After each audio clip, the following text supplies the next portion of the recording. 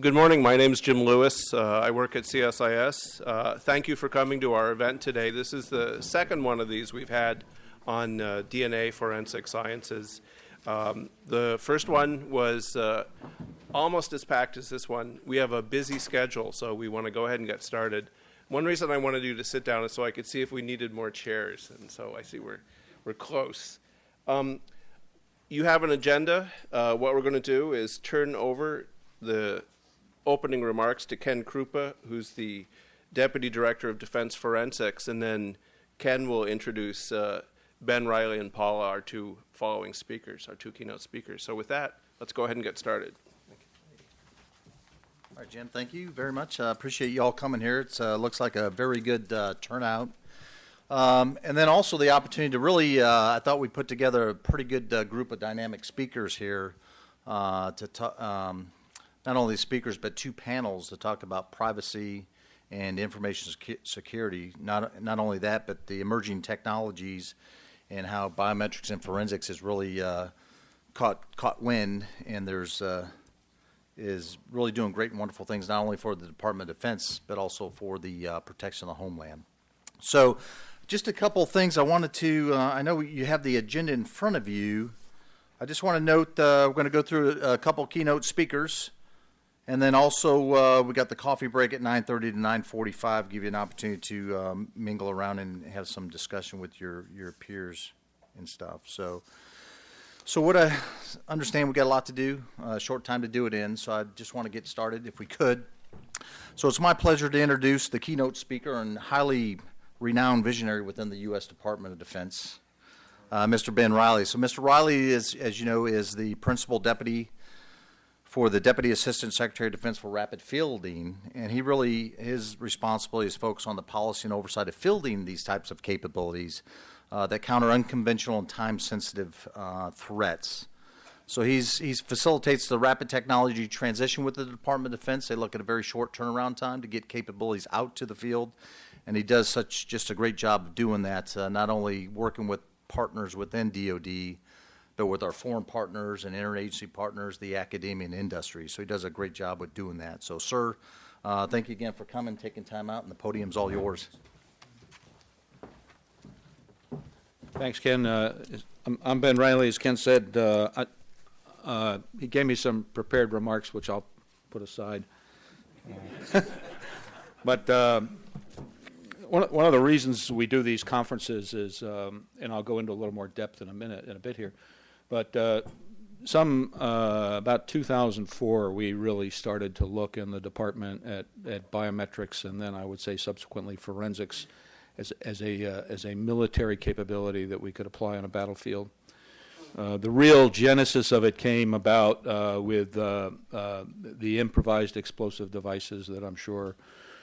many of you are very familiar with, and at a point, a realization that we had as we exploited these uh, devices forensically uh, with our partners from the FBI and, and now also now within DOD, uh, that we had fingerprints on these. We also had individuals in detention, and we had taken fingerprints on these these individuals. And I had asked a question: uh, Well, could we match the fingerprints off the latent IED, the latent IED prints, to uh, these these guys we have in detention to see whether we have any matches. And at one point, I had a senior guy tell me, "We don't do that stuff. That's police work. We're we're soldiers, Marines, and the like." And uh, I remember a British military historian, Sir Michael Howard, saying the only thing harder than putting a new idea in the mind of a military man is taking the old one out.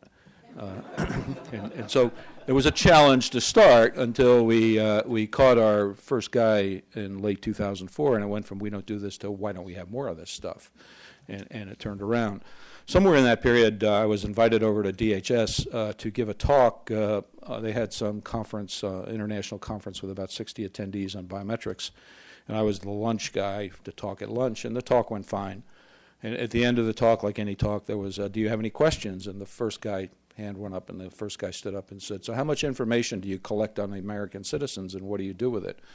And and it was kind of for me as though I were hitting the head with a two by four because it was a realization that if we did not get out in front of and discuss publicly the issues of privacy and civil liberties and the fact that we follow the law and the policies as we go through these uh, this development of this capability that we would very quickly be short uh, shut off. And so many of the things that our office does, uh, both on an interagency basis and uh, in coordination uh, with military, is ensuring that we operate within the confines and the boundaries of the law and, and within public policy and support the policies put forward uh, within the government.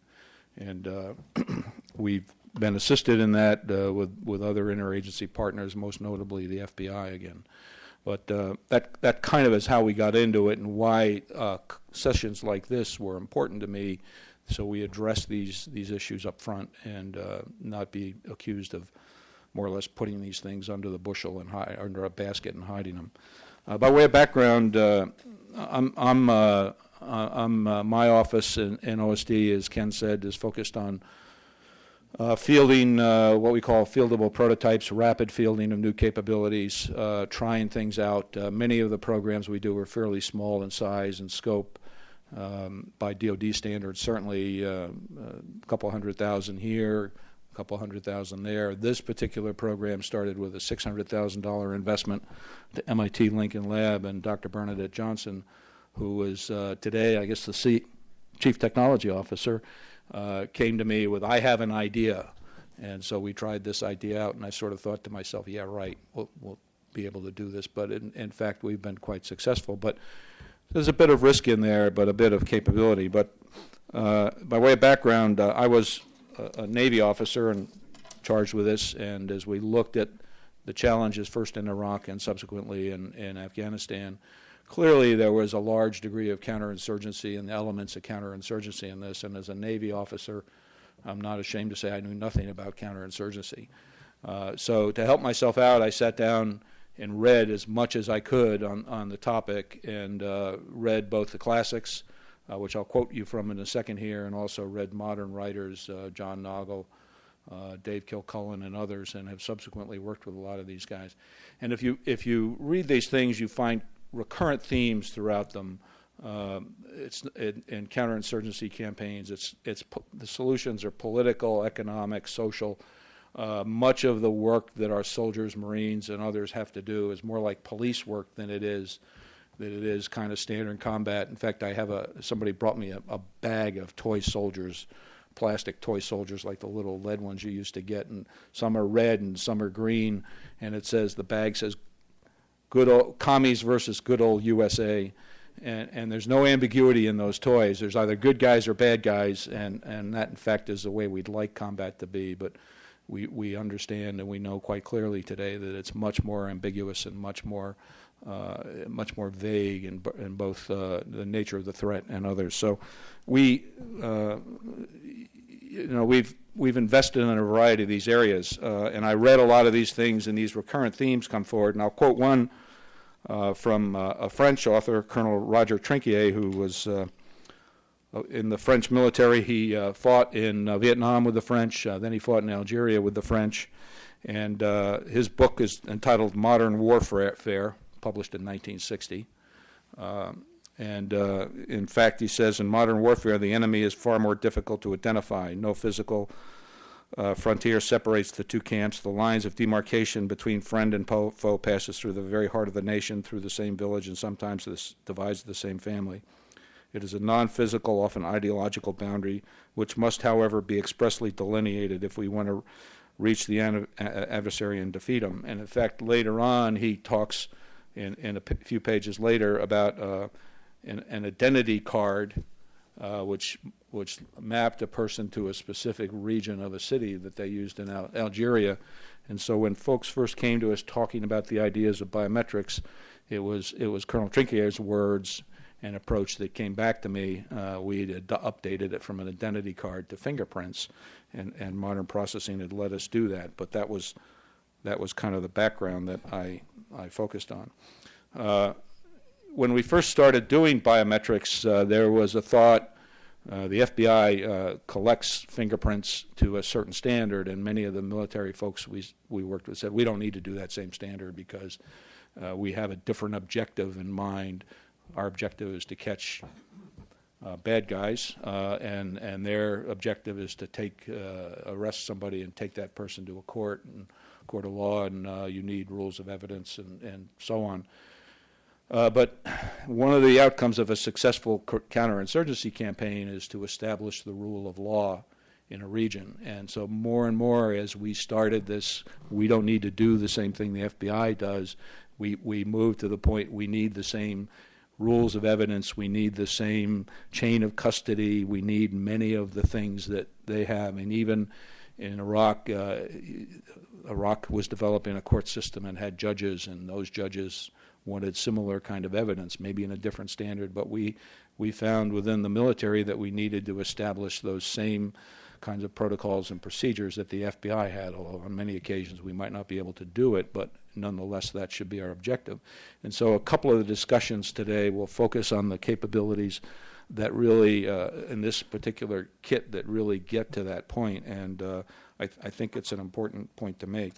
Uh, forensic background, uh, forensics kind of trailed uh, the application of, of DOD's um, of, of, our employment of biometrics and, and brought us to move beyond fingerprints to many of the other typical forensic capabilities that we're all familiar with. And in fact, uh, preceding this, but today DoD has uh, four different forensic labs. Uh, one focused on on cybercrime with the Air Force uh, cyber forensics, I should say. Uh, and uh, I'll, I'll let Ken or others go through them in more depth. But uh, one of our big partners in this project has been the uh, Office of the Provost Marshal General in the Army, and specifically the Army Crime Lab at Fort Gillem. And, and my down in Georgia, and my visits down there, it, it, always seemed to me that a lot of their forensic applications, although they do a fine job, have been focused more on on, uh, on typical criminal activities that one might see and not necessarily moving this forensic capability forward as a battlefield capability. And so the introduction of this kit uh, that you'll get briefed on, plus uh, forensic labs that we have deployed forward, have enabled us to bring a lot of this typical, very traditional forensic capability uh, into uh, the military battlefield environment. Now, uh, I think most of us know that forensic labs are pretty high-end capabilities uh, with very, very talented people in them, and that's a difficult thing for us to deploy, also a very expensive thing, and so it became one of the rationales behind what we're doing uh, with this piece of equipment right here. Um, and uh, Ken gave me some target goals here. Uh, one of the goals is reducing cost and he says a current operator costs $350,000 a year. A forensic scientist, our goal is 50,000. In other words, you can take uh, any any uh, moderately trained, what, 15 or 20 minute training period uh, soldier, give him the training, he can operate this piece of equipment.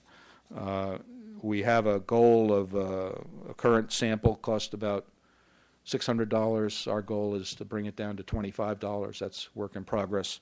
And uh, um, the cost per kit is uh, goal is uh, what's this about 250,000?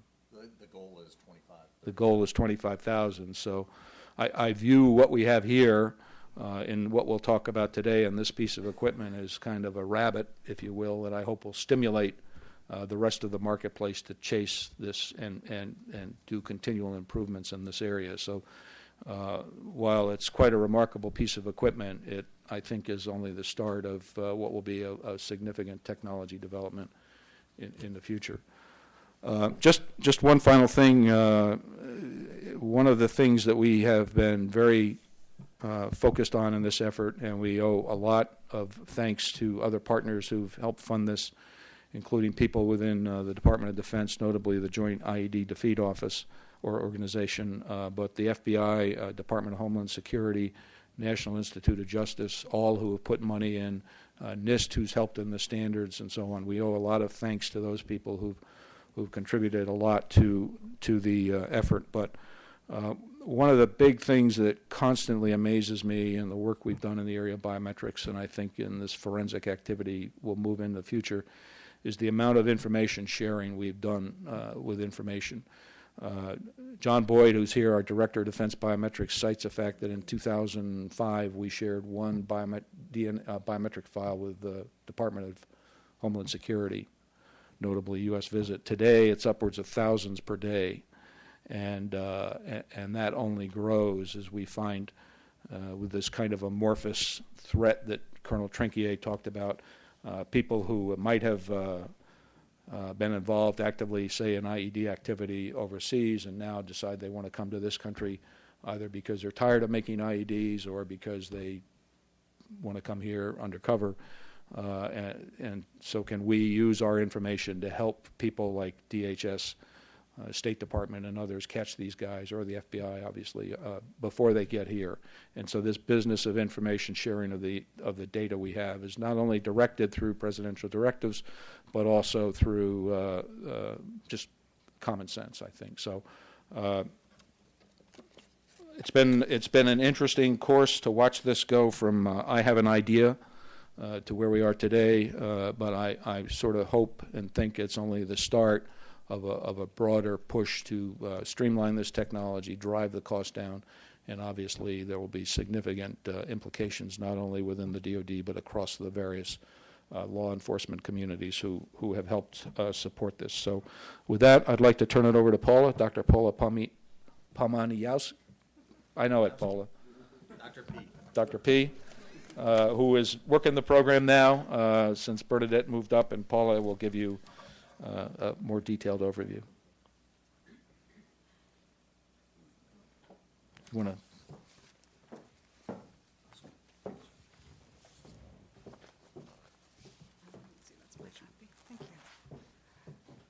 Thank.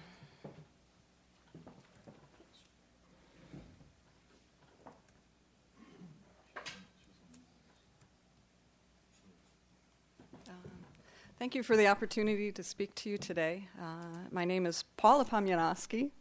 It is a bit of a handful, but you get used to it quickly. Uh, I'm from MIT Lincoln Laboratory, and I'm currently serving as the principal investigator for the ANDE program. ANDE standing for the Accelerated Nuclear DNA Equipment Program.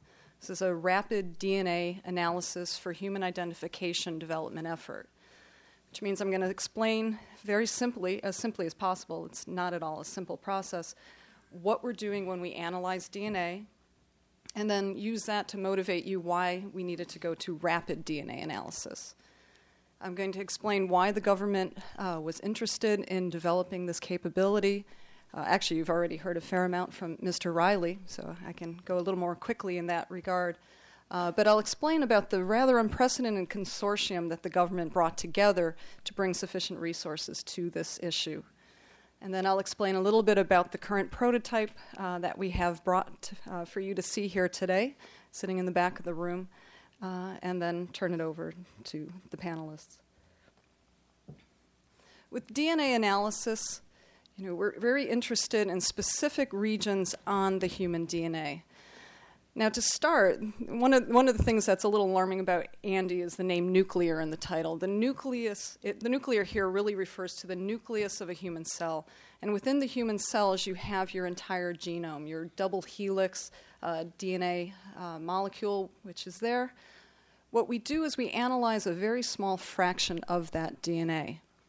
Now, we all know that we have genes within our DNA, and that's what codes us for uh, the things that make us us, our traits, uh, our physical traits, our race, our ethnicity, our susceptibility to disease.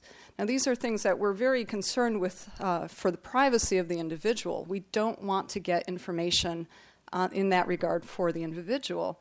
So, we're interested in analyzing non coding regions which is great. We have about 95% of the DNA to work with in that regard. But you need another characteristic. These regions have to have uh, variation between individuals. You need to be able to discriminate between individuals as you analyze their DNA. Now, over the last 10 to 20 years, the science has developed and been adopted to look at what are called short tandem repeat markers.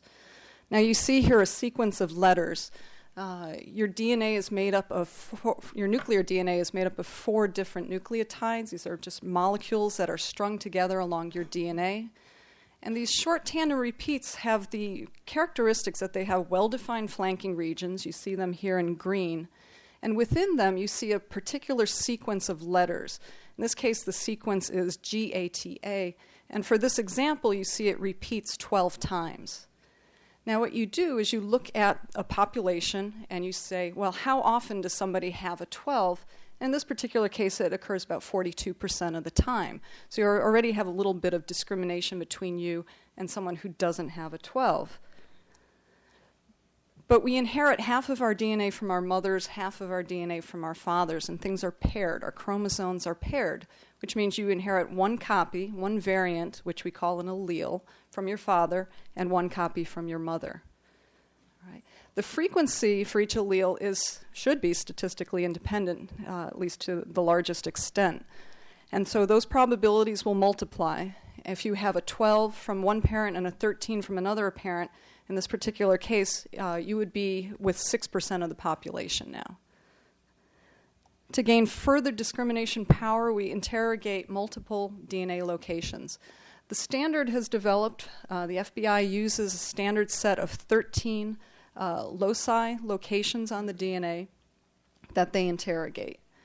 Now, the probability of just randomly matching all of the alleles across uh, 13 loci is about 1 in 5 trillion.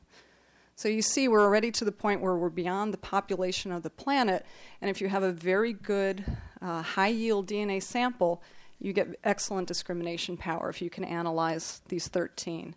In practice, they use another three locations to look at. Uh, one of them determines gender, and uh, there are two extra ones. Now, the gender helps in the case of rape, uh, being able to deconvolve the samples. Uh, and then also for forensic cases, you might have a degraded sample. Uh, having a couple of extra alleles helps with the discrimination power. At the end of the day, you've really only looked at about three thousandths of a percent of the person's DNA. And again, it's all non coding. There's no information um, about the person's physical or biophysical traits. So, why do we need to change things? This has been in practice for many, many years now, and it's working quite well, except in one regard. It takes a very long time to do this process. It's a very complicated, wet biochemical uh, process, typically done by very highly trained technicians. So, just to walk you through a little bit, why does it take so long? Well, you see, there's a suite of uh, different pieces of equipment that need to be used. Samples need to be moved throughout the process. In total, it takes about 10 hours, typically now. Uh, the first step is you need to extract the DNA from the nucleus of the cell, you need to purify it. Uh, there's a step where they actually determine how much DNA is present in the sample. You need to make sure that there's enough uh, to move forward with the analysis. This is uh, very critical in the case of forensic uh, sample processing. Then the regions of interest, these STR markers, need to be copied. You need to get a lot of statistics. You break them apart uh, and make multiple copies. And then finally, you need to uh, separate out the different fragments, these pieces you're interested in, and then detect how many repeats each one has. At the end of the day, well, at the end of 10 hours, you end up with a file that looks like this. This is what the trained analyst can look at. Uh, here you see all 16 locations separated out nicely. Uh, there's two peaks at each location, again, one from each parent, unless you get the same copy from each parent, in which case you have one peak, but it's taller. On the lower left, you see that this person is an XY, that means he's a man contributing the sample. Now, this isn't the information that you need uh, to really identify the person. You can now just report 32 numbers two numbers for each of the 16 loci. So it's a very small bandwidth file that needs to be sent around, matched to other um, information you might have in a database somewhere else. And because it's very simply numbers, it's very easy and, and unambiguous to do the matching. So 10 hours just to do the biochemical processing. But on the front end, you first have to get the sample from wherever it was collected to the laboratory, these centralized laboratories. And depending on where you're operating in the world, this could take days, even months, uh, to get the sample out. On the back end, you have to match your profile against a national database, for instance, the FBI's database or other databases that the DoD might hold. And uh, it's typical to, or it, it's, you can have processing backlogs in that regard. That can be hours or even weeks if um, you're not a high priority uh, analysis. So the idea here is the operational community really needs to shorten this timeline. You need to be able to get an answer out uh, that matches the timeline of the operation in hand. If you're holding someone, you'd like to get an answer before you release them and they go to ground. Uh, so the goal has been set to try to get the processing under an hour, deploy it out to the field, proliferate uh, a lot of these systems, have them used by easily trained operators, uh, and then make sure that you get the answer in the time window you need. This was a tall order from where we are today, uh, and the government began, various uh, organizations within the government had begun funding uh, the development of rapid DNA. Uh, however, no one organization had enough resources to bring to this, this problem.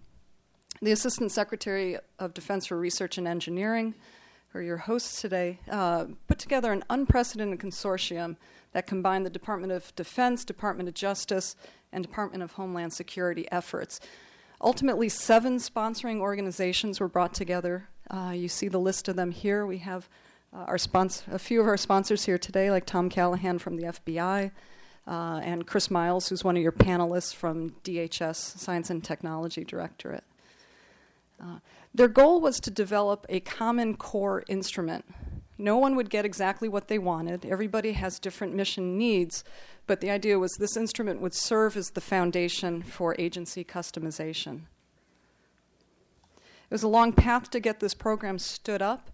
Uh, basically, ASDR&E worked for about a year and a half with its technical advisory panel uh, to set up this program. Lincoln Laboratory came on board uh, as program integrator and system architect. Er, you know, Lincoln Laboratory is a federally funded research and development center. Uh, we're independent, we're not for profit, and we have a charter with the Department of Defense to not compete with industry. Originally, it, was planned that Lincoln Laboratory would build the equipment in house. We are a research and development prototype house. Uh, however, we first conducted a survey to look at what commercial technologies were out there to see if we could leverage what was already out there. Uh, the results of the survey came back uh, with our recommendation that the government could accelerate the development of a rapid DNA capability uh, by, uh, by submitting a, a, subcontract to industry and basically having industry put their resources against it. At this point, the, the uh, consortium was stood up all of the stakeholders pulled their requirements together and a prioritized list of what um, could be gone after easily was put together. Uh, and then the uh, competitive request for proposal was issued for the hardware subcontract. This was awarded to NetBio, um, who's here today uh, with the prototype that they've since developed. So the program kicked off back in October of 2009. And as it was uh, called ANDE, again, accelerated nuclear DNA equipment. And the hardware goals was to get the processing down to one hour or under one hour. But the, the samples that they were going to process were reference samples. So basically, you have the person in hand, you take a swab typically of their cheek cells. There's a lot of DNA there easily uh, taken just by a cotton swab. Uh, it was decided that it was a bridge too far to go immediately to forensic samples, low yield, maybe degraded samples, uh, samples that are left behind as people touch objects of interest.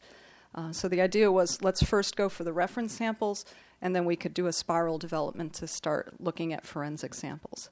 However, to move towards forensic samples, there was also a portion of the program that Lincoln Laboratory undertook to look at how much DNA was left behind on objects of interest. So that way we could set the requirements uh, for this next stage of development. Uh, now, all of this has to be used by non technical users in deployed facilities.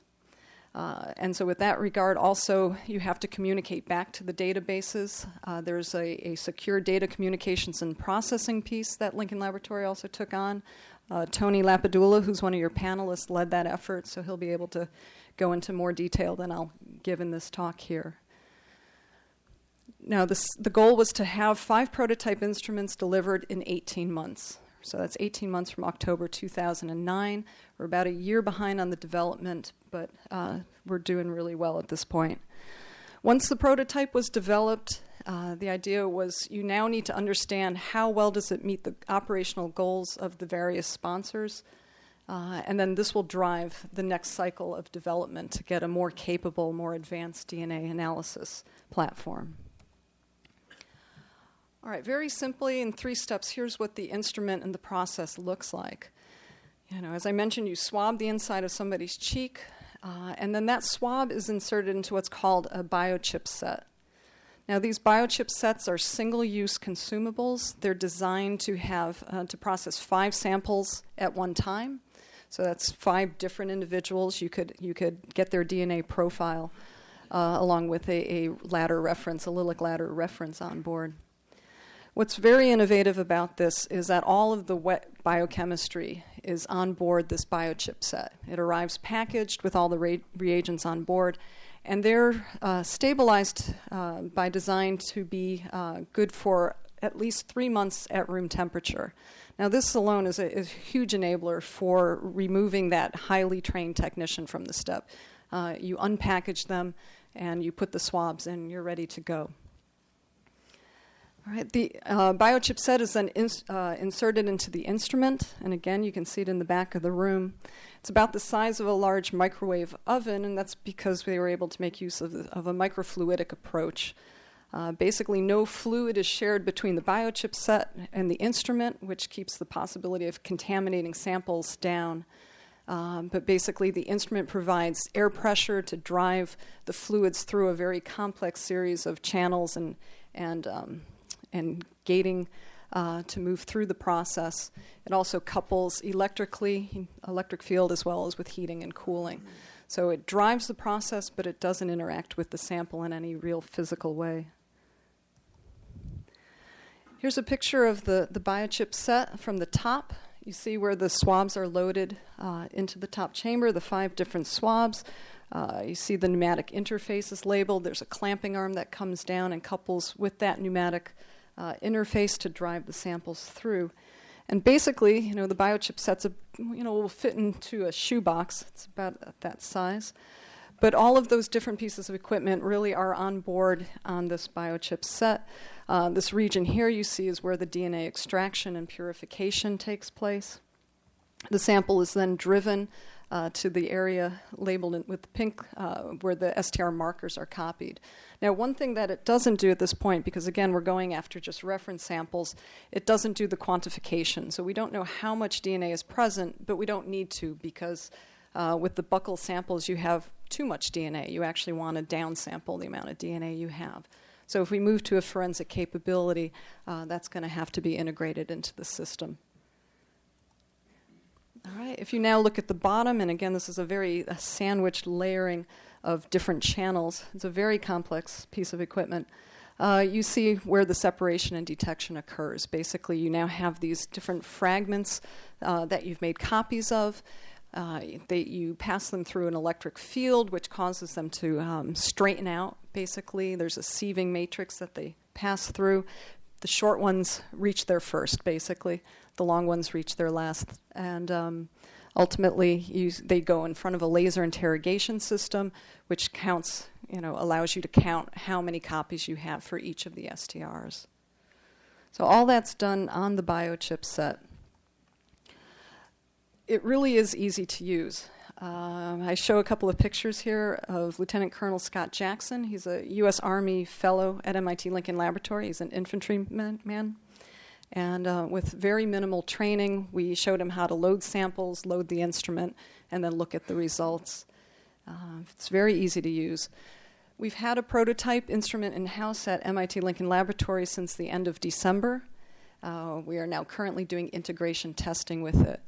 We, right now, we have it with um, a prototype biochip set. Ultimately, we're going to move to injection molded uh, plastic for the, the biochip sets, and hopefully, we'll begin testing with that in April. So, that's our last gate before the sponsors uh, can take acceptance of them if these new biochip sets work appropriately.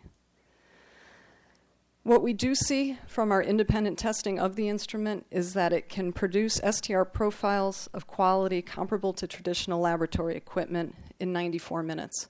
Uh, and this is very good for the program. The goal was set to an hour or under an hour. However, uh, it was decided that quality was more important than timeliness because 94 minutes is still uh, an incredibly short amount of time to do this processing.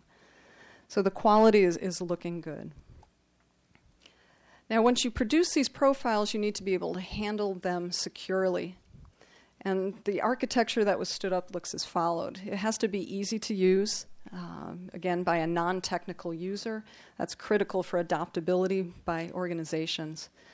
It's also very important to understand who's using the equipment and what they're doing with it. So the person has to log in so you know who the person is. They need to have a, a smart card with their own uh, personal identity verification information on board. The software is designed to basically digitally sign that information every time a change is made right? So you know who was interacting with a file and what they were doing. The original copies of all the information are saved, right? So if somebody tampers, you can go back to the original file and, and you have that accountability. And then finally, uh, the information is, is encrypted and decrypted at each step, right? So the ANDE instrument c- produces the file, we bring it over to a separate laptop tablet, uh, and we do all of the data analysis there. There are two software packages that go with ANDE, again, to make it easy to use. I showed you an electropherogram with peaks. The, the idea is a non technical user really shouldn't be looking at that. All they should be doing is saying, okay, I generated a profile. Do I match to a suspect? So there's a program called STR Match on board.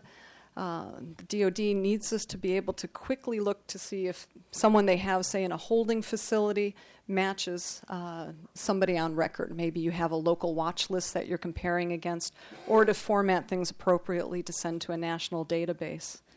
Right. So the idea is again, get this answer into the hands of the operator before you need to release that person. And the other piece of interest, primarily to the DHS, is to look at whether family, stated family relationships are indeed verified for immigration purposes. To prevent fraudulent claims, basically, someone coming over, an asylum seeker, bringing over someone who is not, in truth, a family member. Uh, the idea here is you want embassy personnel or other people working in immigration to be able to really look to see if this family relationship is verified. Now, STR profiling, as it's currently done, really only allows you to look at parent child relationships and to see if they're compatible. Uh, there's no other capability. For instance, you can't tell if a sibling, two siblings are related to each other just because of the way the statistics work. Right. But by bringing this equipment forward to, say, an embassy, to a refugee camp, uh, you can do it quickly. You can really shut, uh, cut down on the amount of interviewing, paperwork, all of the things that have to happen, and sh- ultimately shut down a potential path for illegal entry into the United States. So, what we have today is a prototype that we're currently integration testing. Uh, as soon as that's completed and the instruments ready to go, the five instruments will go to the different sponsoring agencies. Uh, three of the instruments are slated to go to the Department of Defense. One will go to the FBI, one will go to the Department of Homeland Security, and they're going to begin independently testing the instruments. They're going to, however, make use of uh, NIST's going to be providing uh, standardized samples for everybody, and the goal is for everybody to share the information from the testing, so that way you get even more statistics on how well it operates and what issues and concerns are. The DoD then needs to think about operational validation. They need to see if it can operate in operationally relevant environments. Uh, some environments could be quite harsh. You don't want to take it someplace where you'll instantly break it, for instance. Uh, and then again, as, as Mr. Riley said, you know, this is being used will be used for evidence uh, in military operations. So there has to be some level of validation testing to make sure that the quality of information coming out is compatible with that of traditional methods. Uh, on the civilian law enforcement side, you know, there's, there's a, a very stringent validation testing, uh, which could take a fairly long amount of time. You know, and making sure that the policy of using this particular device, this particular capability, uh, in national uh, law enforcement, civilian law enforcement, is appropriate. So there's a long path um, before it really gets out into the real world. Uh, to summarize, the Field Deployable Rapid DNA Analysis Consortium was stood up to develop this core capability for rapid, accurate human identification. This grew into the ANDE program. We now have a fully functional prototype that has demonstrated fully automatic processing of samples in 94 minutes. The quality is comparable to traditional laboratory equipment, and it is easily operated by non technical personnel after only a minimal amount of training. Uh, the program's on path to delivering the five fully functional prototypes with injection molded consumables to the sponsoring agencies in April 2012, so that's coming very soon. Uh, we're conducting a very extensive test suite to make sure that the performance of the instrument and its operational utility is sufficient prior to field deployment, and then the system will undergo validation testing prior to evidentiary use. That's all I have for you today, and okay, thank you. Thank you, Paula. Dr. Pomianowski. Get. Okay, so what I'd like to do is um, we're going to go on a brief br- brief break. I'd like to break now. Uh, come back. Uh, the schedule says 9:45. So I encourage you to go go back. We have the ANDE equipment on display. There's a couple posters that kind of summarize uh, some of the key events, some of the privacy and the information sharing things. So I'd encourage you all to take a peek at that and uh, to interact. So see you back at uh, 9:45. Well, welcome back. I know one of the important functions of events like this is to give people a chance to uh, mingle, and we'll have another one at the end of the uh, panels we've got for you. The uh, two panels we have one on privacy issues, one on the information sharing environment, both crucial issues for this. Um, this is the second one of these events, I think, as I mentioned, we've done for uh, Ben and his team. And the first one was really kind of neat because that was when uh, starting with uh, some of the data they were getting off IEDs, they found they were able to do matches between the people who built the bomb and then the people who were applying for entry to the U.S., applying for jobs at U.S. military facilities. It was really kind of cool. And when they said that to me, I thought, hmm, this is really going to be interesting. And one of the things that you might not have seen a link to is that shortly after DoD began this program a few years ago, that was when many countries in the world suddenly decided it would be useful to fingerprint people when it came in when they came into for a visit. That's when the European Union flopped on fingerprinting. So there's real effects on the advent and the use of this technology. But there's real issues too, and I think you can all think about them. We're in a borderless kind of conflict to the extent there's people out there that we need to find. Uh, some of the individuals we might be dealing with could be U.S. citizens. I know that's been one of the concerns all along. Um, that you'll collect data and it will turn out to be a U.S. person, and that creates all sorts of issues. We have this larger issue, and it will come up in the second panel on information sharing too, on just the ubiquity of data and what are the rules for the treatment of that data when it concerns individuals who are either U.S. persons or non U.S. persons. So, a complex set of issues surrounding a very valuable technology. We have a great panel to talk about this. I'll just read their names and titles. Their bios will be available on our website. Uh, Jill Spriggs, who is the chief of the Bureau of Forensic Science at the California Department of Justice. Elizabeth Johnson, who is the CODIS manager for the U.S. Army Criminal Investigation Labs. And I think CODIS stands for Combined DSA in, DNA Index System. Amazing. Uh, and um, Samuel Jenkins, who's the director for privacy, uh, the Defense Privacy and Civil Liberties Office. So, tremendous panel to talk about this. What I'm going to ask the panelists to do is talk for you know, five or ten minutes. Uh, we'll hear their presentations, and then we'll open it up for uh, questions and discussion with the floor. So, thanks.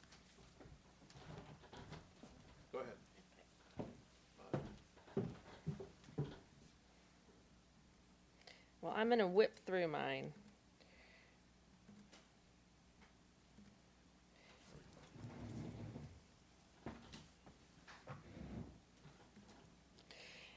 Well, it's a pleasure to be here.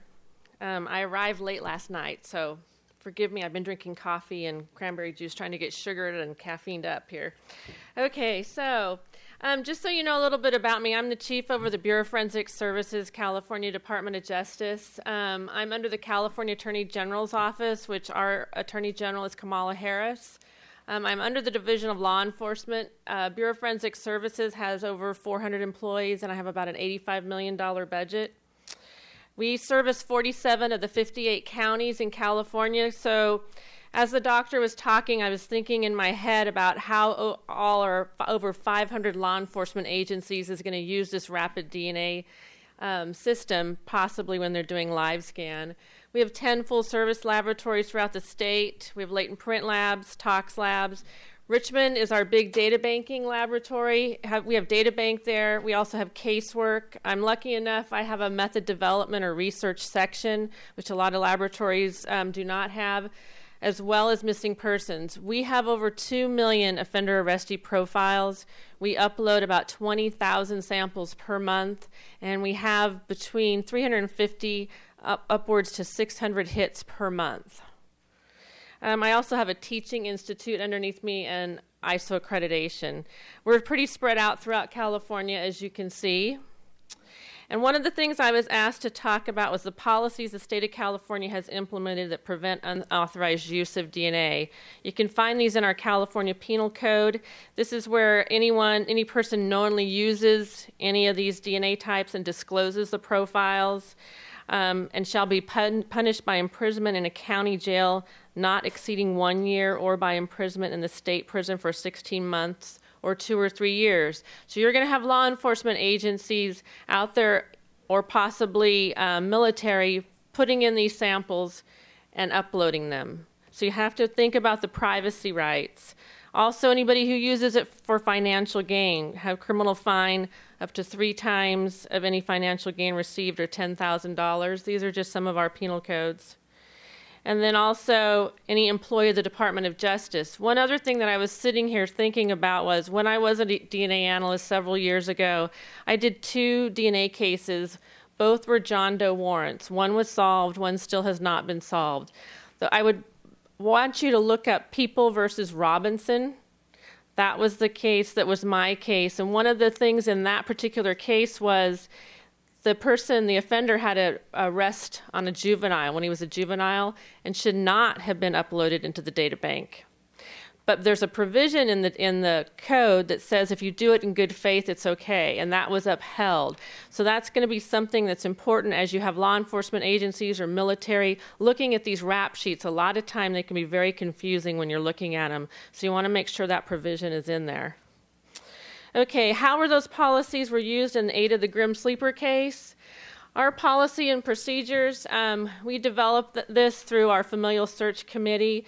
As you probably heard, the Grim Sleeper uh, case, it was an LAPD case. It was solved July 7th, 2010. Came out in the Los Angeles Times. Um, it was very public display. We have our, our now governor there, Jerry Brown, the mayor, LAPD, um, police chief, and the LA County DA. Um, we were also in the Los Angeles Times. It was a very busy week. Just so you know how this kind of came about, this picture, it's kind of funny. We were all standing in front of it, and he, front of it, and he said, "Hold it right there. I'm going to take your picture." So that's why we all the numbers all over our face.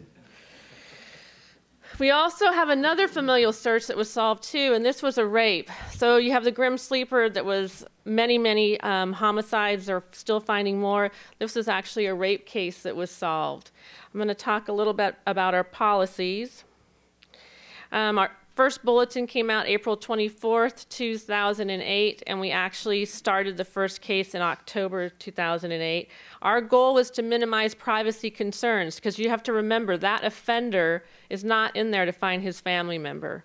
So you always have to have that in the back of your mind. And what this is, it's just an investigative lead when we hand over that offender's name. We do not search arrestee samples, we only search offender samples. So the conditions of the policy must be met before DOJ will release the name of the convicted offender in the DNA database who may be a relative of the actual perpetrator. And we took every precaution we could to do this. We have three criteria. It must be a violent crime. So we don't do burglaries, we don't do robberies. All investigative leaves have to be exhausted, and it has to be a serious public safety risk. Casework conditions has to have an unsolved forensic evidence DNA profile and it has to be a single source, meaning it's one person. You have to have 15 loci. Um, so we want that because that gives us more markers to search. And we also have to have the YSTR type, which is the, your male type.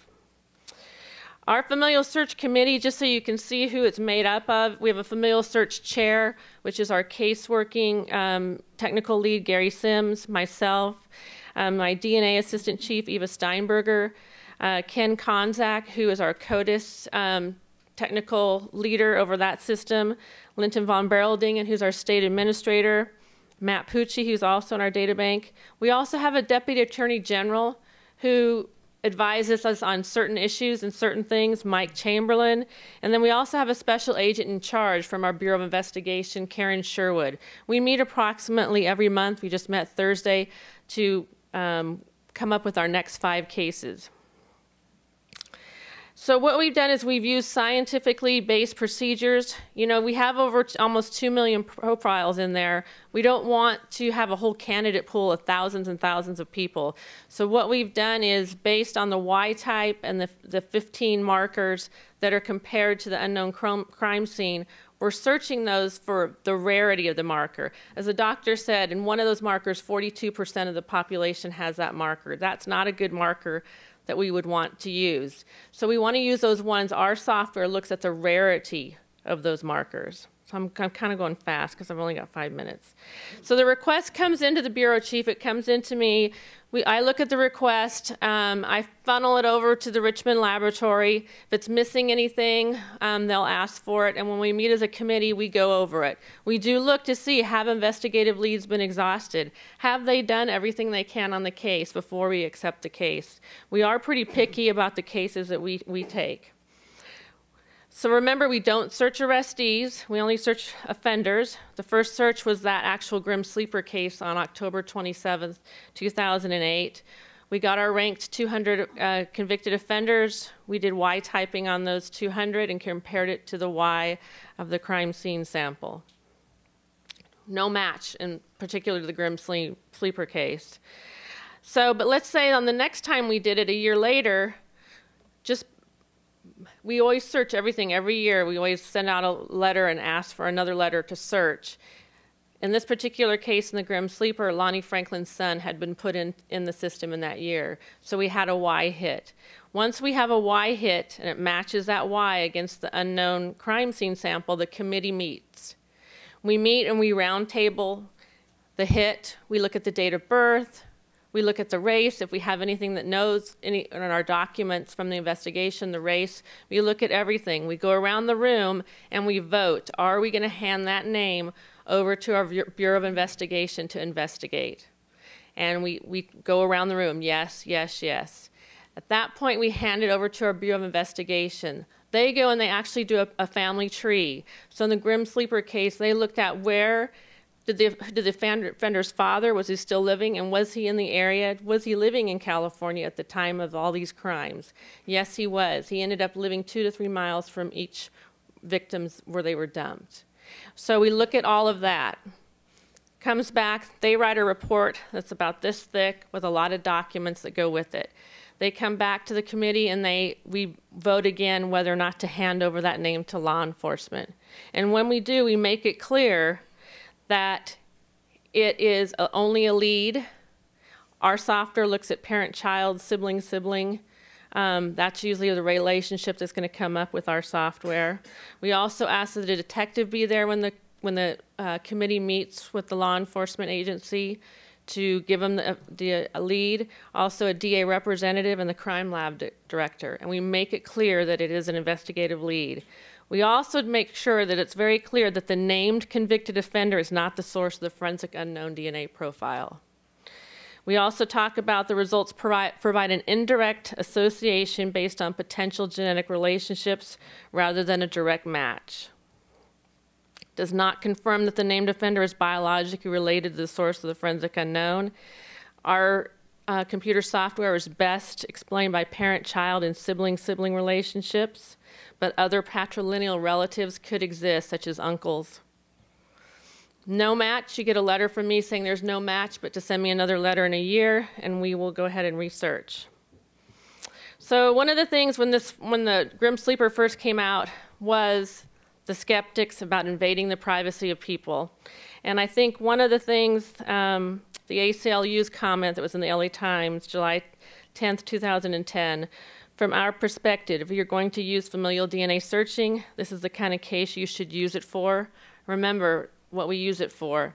It, it has to be um, a violent crime, violent case, public safety risk. This is the kind of case you should use it for, and the kind of precautions they took in this case are the kind that should be taken. We took every caution there was, and remember, this is just an investigative lead. This was our Attorney General at the time, Jerry Brown. Now he's the governor. This arrest proves proof positive that familial DNA searches must be a part of law enforcement's crime fighting arsenal. Although the adoption of this new state policy was unprecedented and controversial, in certain cases it is the only way to bring dangerous, dangerous killer to justice. So, who pays for it? We currently absorb it um, under the Bureau of Forensic Services. We have bi monthly meetings. We choose the next five cases. Um, we currently don't have a backlog. We've chose the five cases and we're doing it. We've completed 35 searches. Um, our new Attorney General Kamala Harris is very supportive of this, and so we're doing two searches now a month. And that's my contact information should you need anything. Hope that was not too fast. Thank you, Jill, though. Was a little fast, but if there are questions, we'll have a chance to come back to them during the Q&A period. Uh, With that, let me turn to Elizabeth, please.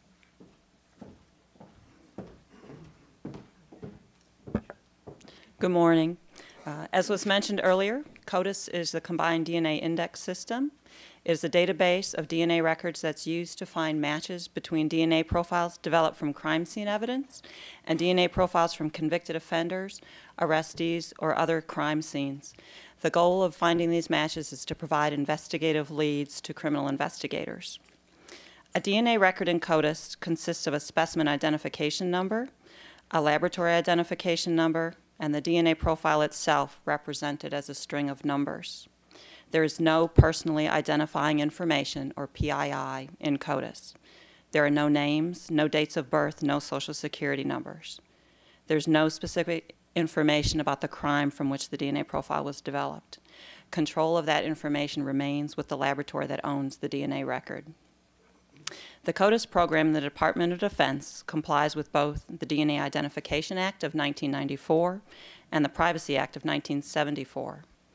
The DNA Act restricts disclosure of DNA samples and analyses only to A, criminal justice agencies for law enforcement identification, B, in judicial proceedings, C, for criminal defense purposes for the case in which the defendant is charged, or D, if personally identifying information is removed, for forensic identification research and protocol development. When a DNA sample is taken from a military offender, he or she is notified in writing of his or her right to expungement should the charges not result in conviction or should the conviction be overturned.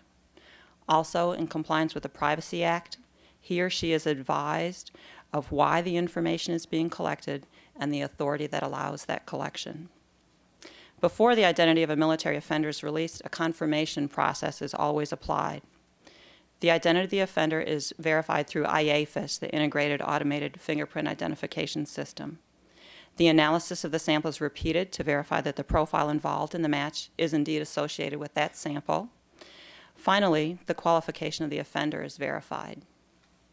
Obviously, the Army Crime Lab can only control data that it enters into the database and not data entered by other laboratories. This raises the concern of data quality from other laboratories. When the DNA Identification Act of 1994 created CODIS, it also created a process for the development of federal standards to ensure quality of data in CODIS. All labs entering data into CODIS must comply with the quality assurance standards issued by the Director of the FBI. Additionally, labs that participate in the National DNA Index System, or NDIS, must comply with the NDIS operational procedures. Together, the FBI quality assurance standards and the NDIS operational procedures ensure the quality of the data in the national database and give us confidence that the information we receive from other laboratories and, and provide to military investigators is accurate. And as we move towards rapid DNA, as you saw earlier this morning, that is our future. Uh, we expect that these same measures will be incorporated into that process to continue to protect, protect the privacy of our servicemen and women. Thank you. Thank you very much. Good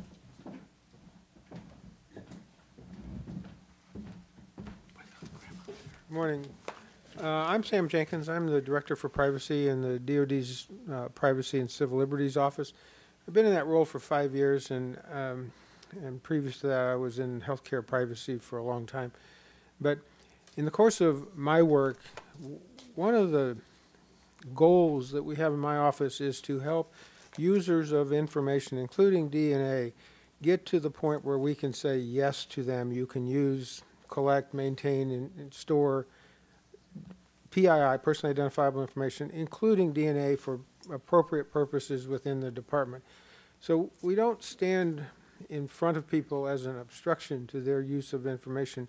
We are focused on facilitating the, the ability of individuals to use information appropriately in the department. And with any new technology, but for identifying individuals, there are numerous privacy and civil liberties concerns that need to be analyzed and addressed. These can range from the specifics of appropriate procedures involving the collection to more abstract theoret- theoretical implications of the use of particular information. At the Defense Privacy and Civil Liberties Office, part of our job is to evaluate all collections of personally identifiable information. And at a minimum, we check to ensure compliance with applicable laws, beginning with the Privacy Act of 1974. That is the core standard for our program. The fact that it was published in 1974 does not suggest that it's not an up-to-date law. There's a condition in the Privacy Act that requires that we establish administrative, technical, and physical safeguards about information. And by using those safeguards, we can apply policies and procedures to the collection and use of information that ensure that we follow the laws of the country.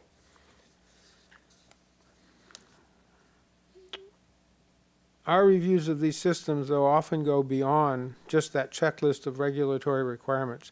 Our job is to ask if proposed collections meet constitutional muster in terms of their association with the privacy rights and the civil rights of individuals who we collect information about, as well as the discussion of the ambiguous standards of social acceptance.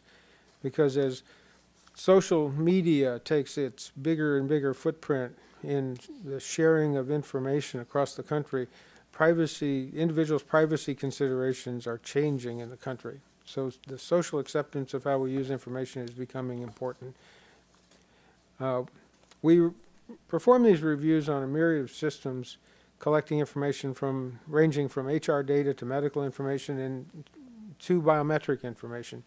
We're physically located on the same floor of a building where the Defense Biometrics Office resides, and we work very closely with them on a day-to-day basis. We have to recognize that some PII is more sensitive than others.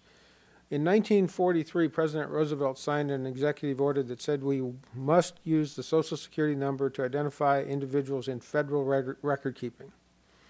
In, in 1943, the consequence of the use of the SSN couldn't be forecasted. In 2008, President Bush revised that executive order to take the word must out and add the word may. And it opened the door for the federal government to officially start looking at alternatives to the use of Social Security numbers. But if you look at the history of the Social Security numbers and all of the impact the numbers have had on people's financials, their identities, and other information uh, thefts that have occurred about individuals, you'll find that over the years, those consequences increased a great deal. We have to be careful as we collect and use DNA that we don't reach a sim- similar circumstance with DNA. Now, DNA can uniquely identify an individual, but it can also identify familial relationships. And I'll give you an example of one that we were involved in a number of years ago. In 2005, the DNA Fingerprint Act allowed for the collection of DNA at the conviction of a person of a felony. Well, we, we in the DOD oftentimes have people who are deserters. They leave their posts for extended periods of time with the intent of not coming back. We had such a, a person who was apprehended by the military deserter group and taken to um, a military activity up in Great Lakes, Illinois. The law at the time, the 2005 Fingerprint Act, DNA Fingerprint Act at the time, allowed us to collect the information at that point of the conviction of a felony, and the court martial this fellow would have gone before would have resulted in a conviction of a felony. So, in anticipation of that conviction, the law enforcement personnel took a DNA swab and ran it. They ran it through the lab and they, they matched it to a familial match for a rape. But we couldn't let that DNA sample and its result be used in subsequent law enforcement activities about that rape because it was collected prior to the conviction and the, the Marine was never convicted under the court martial. As often happens in, in DOD and in the military services, they are discharged with a less than honorable discharge, which is a lifelong penalty in and of itself.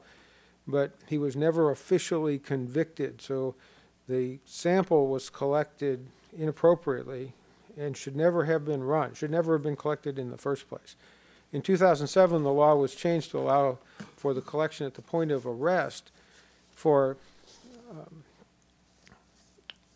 crimes that would result in a felony conviction. And we've worked with uh, Elizabeth Johnson and her group and others in the department to make sure that we are collecting that information appropriately and using it in appropriate settings, including having instructions provided to individuals on how they might expunge their records if they're not convicted. So, um,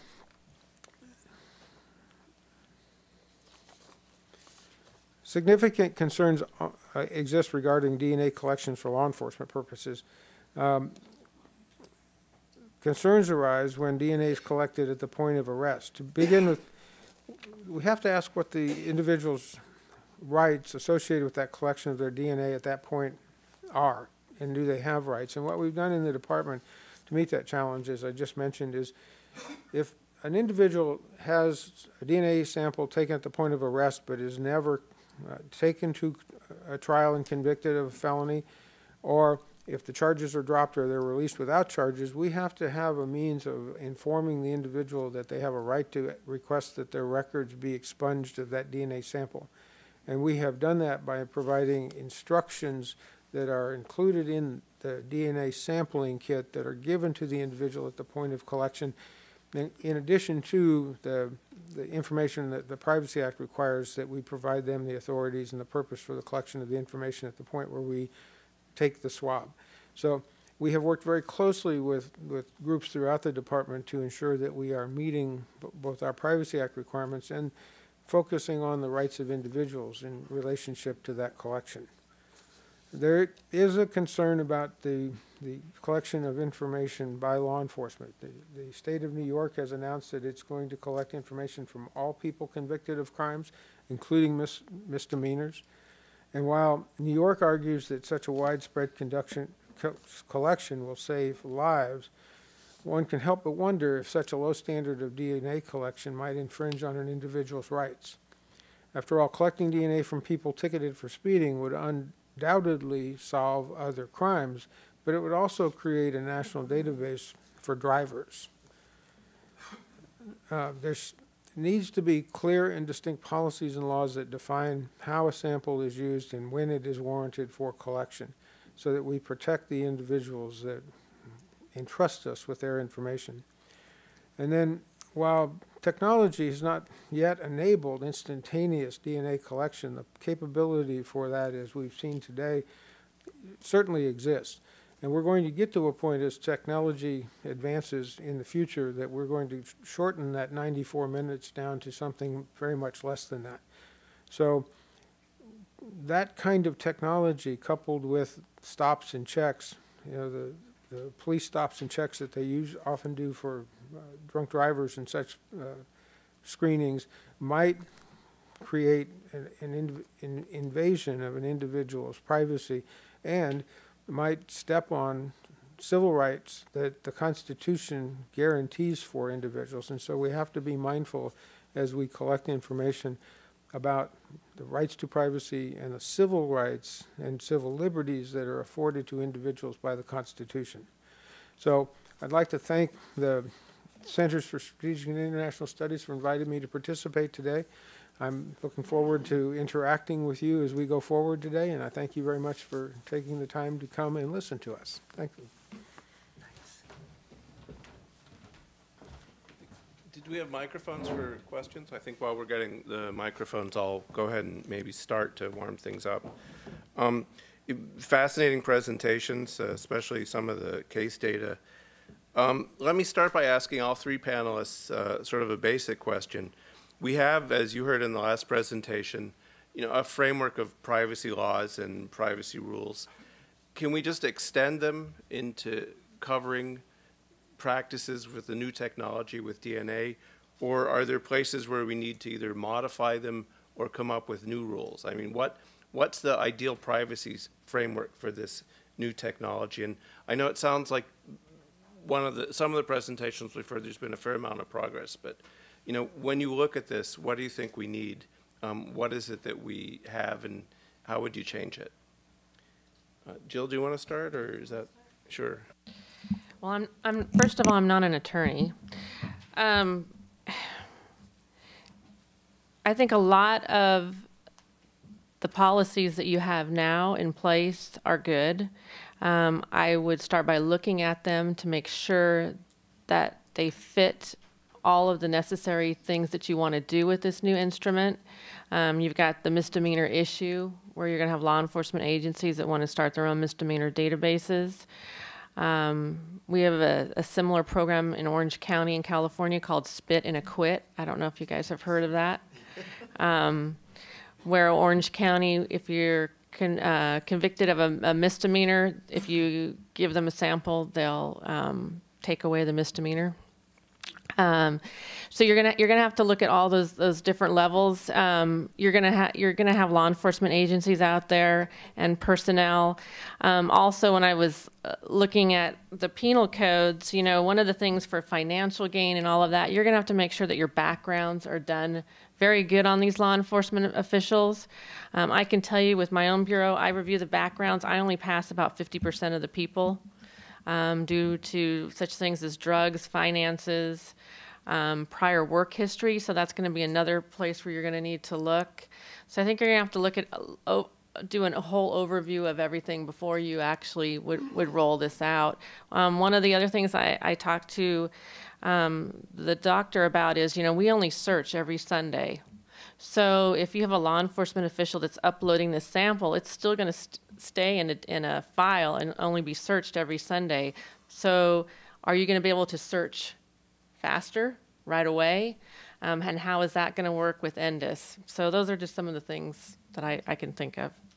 Great, thank you. I'm not sure about spit and acquit there, but it's an interesting program. Uh, Elizabeth, what happens when somebody refuses to spit? Is that a confession of guilt or? Go ahead. I, I, guess my comment would be on the speed. Uh, we are making the DNA process. Is that better? Thank you. Um, my, my comment is regarding the speed of some of these processes. As I described during our confirmation process, we verify identity through fingerprints. We verify uh, offense information either through our DoD systems or through NCIC. And if we are getting to the, the point where we can do the DNA in, in 90 minutes uh, and do the search instantaneously, which you we're, not there yet, uh, we're going to need to do some of these verification processes up front. Um, and I, I, think that's something the FBI is, is looking at and could perhaps comment on. Um, we want to do that fingerprint search and verify identity before the sample is collected and run in the ANDE, as well as offense verification. Those steps need, need to be completed prior to the DNA analysis in order to really get the, the savings of time that comes from this rapid method. Sure. There's, there's one other thing. Currently, when you have a hit in a crime laboratory, so you, you have a hit to a convicted offender. We go back and we repull that sample and we rerun it, run it to make sure there's no mix-up, as we also verify a thumbprint. And then we don't consider those convicted offender arrestee samples coming in, in the door as evidence. So that's why we ask the local law enforcement agency to go out and collect their own sample. So in this case, are we going to start considering these samples evidence? And are you going to be able to go back and verify that particular reference sample with a thumbprint? Once you have a hit. Great. Uh, Your turn. Um, Under the Privacy Act, we are required to uh, provide public notice to individuals who we intend to collect, to collect information from, and DNA would be one of those collections of information. We have to- to publish these notices in the Federal Register. Now, granted, the majority of the public has no idea that the Federal Register exists for this purpose, but it is our means of, of informing the public and being transparent to the public in our collection and use of this information. We also use the system of record notices that are published in the Federal Register to help guide our operators and users of information and our systems associated with that information to understand the limitations on how that information can be used. And so as we go forward in collecting DNA for various purposes, we have to be very clear in the, the, in defining the purpose for which we collect the information. And if we're going to collect information for one purpose and anticipate using it for another purpose, the, we're, we're going to have to go back to our public notice and revise the purpose statement to ensure that we include new intended purposes for its use, and we need to identify uh, particular authorities in the federal government that allow us to change that purpose.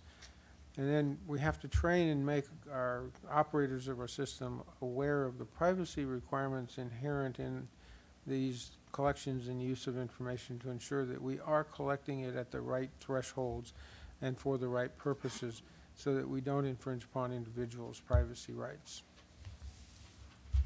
Great. Um, Given that the, was that a question? I didn't want to, given, go ahead, please. I was going to ask, uh, your policies seem to indicate an exclusion of being able to use the DNA for disaster victim identification. Is that intentional? Who- Who are you addressing at? Uh, Particularly California. Okay.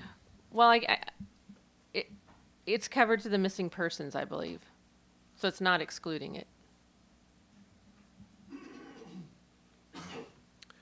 Okay, given that the purposes that um, uh, DOD might have in collecting this data uh, will not be the same as the purposes that a law enforcement, a- this is a little speculative, so I'm going to push the panel a bit. Given that the DOD purposes are going to be different in some ways than the purposes that a law enforcement agency might have, I mean, there'll be some overlap, but not complete. Um, how much of the law enforcement precedent, which is pretty strong, how much of that is transferable to what DOD does now? Where will DOD need to think about maybe doing some different, uh, different things? Well, under the Privacy Act, we have an allowance to share information with law enforcement authorities who are pursuing evidence related to the commission of a crime by, by a particular individual. And so we do share information with law enforcement to help facilitate investigations. But again, as we move forward and we change the purpose for which we're collecting information, we also have to look at the documented sharing of that information with organizations outside of the Department of Defense to ensure that, that the purpose their use is compatible with the purpose for our establishing the record in the first place. Um, But we participate with law enforcement activities to ensure that criminals who do commit crimes uh, are um, identifiable. So we continue to share information with law enforcement agencies. Anyone else? No? Okay. Um, Jill, maybe I could ask you, how much of the data that you use do you get from places like either FBI or DOD? Is that something that you work with, or does that, uh, is it, No, mo- most of the data that we're using is through the state. because Okay. it funnels into the FBI. Okay, so you pass it up to the, Right. thanks. Uh, Go ahead. I had a question which is kind of a split between quality and privacy. Um, Most labs take Mm. elimination samples from the people who do the DNA so they can determine whether or not it's been cross-contaminated.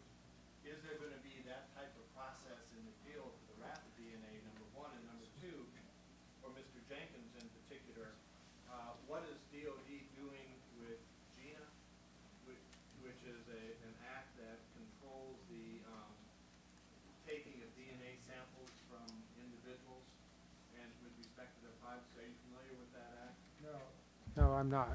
All right, because there's an issue within the federal government, maybe Jill, you know, you- you've done some work on that area, with respect to whether or not you can take DNA from federal employees as elimination samples.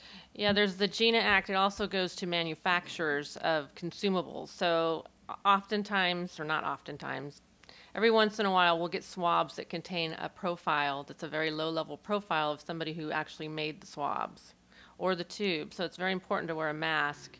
Um, one of the things we're, we're trying to do in California is, and I pitched the idea, which I think is a great idea, sorry, even though it's my idea, um, to uh, one of the assemblymen is, is to actually mandate law enforcement personnel as well, well as crime lab personnel to give their samples because I believe there are a lot of old cases that are sitting that are unsolved that are probably the detective who collected the sample.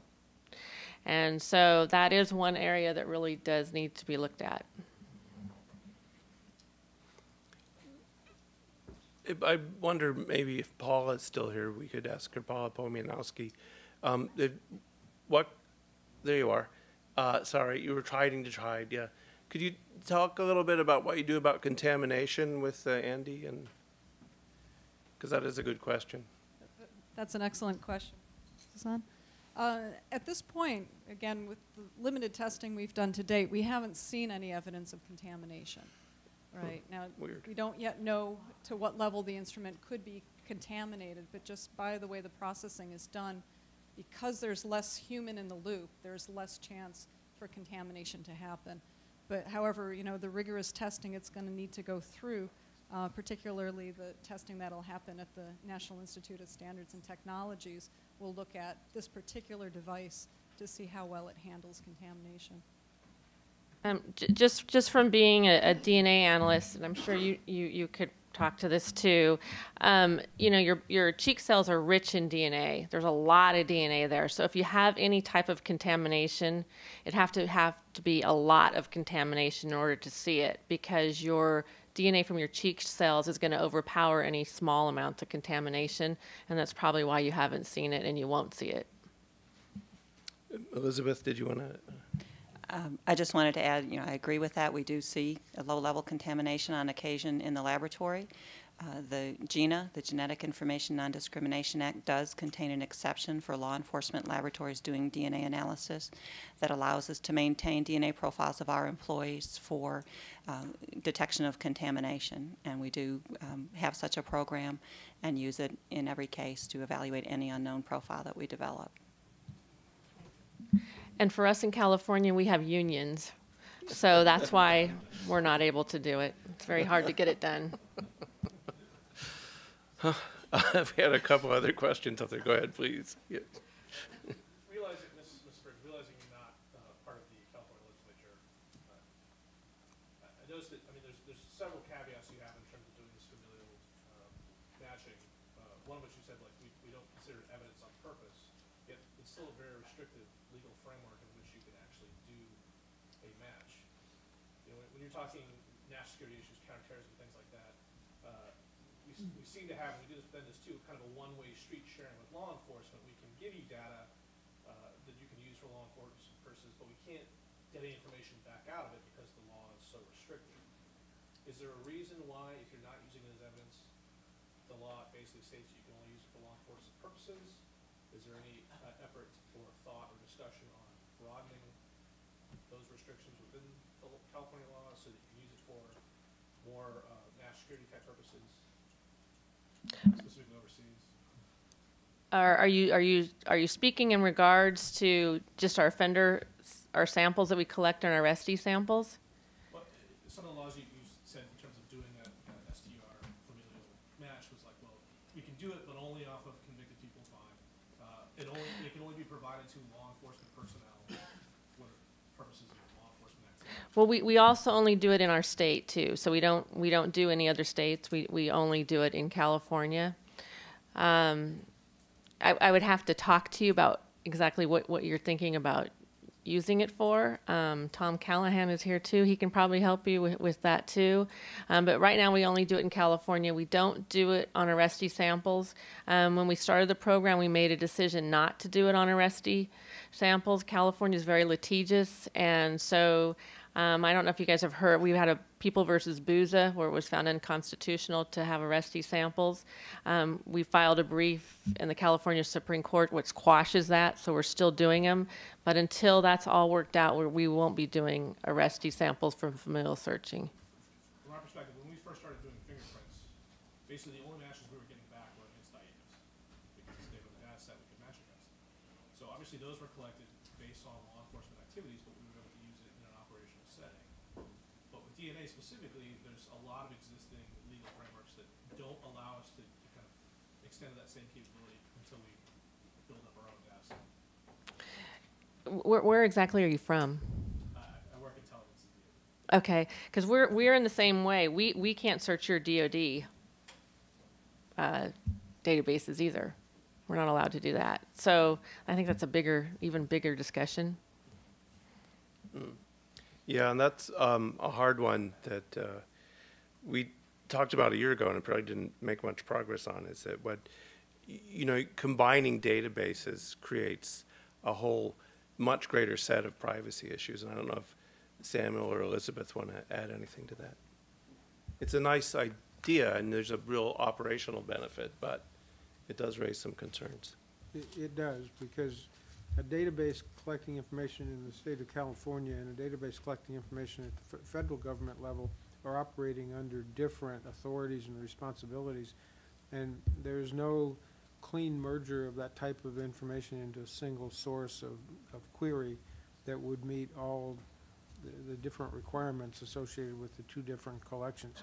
And so I think we're quite a ways away from something that's searchable, bu- a, a, a one-stop all search, if you will, of information about individuals. Okay, um, Tom, I don't know if you wanted to add anything. Is that uh, no? Okay. well, don't say I didn't offer. Uh, go ahead, please. Um, I was wondering if it's possible for an offender to, uh, to refuse to submit their DNA sample?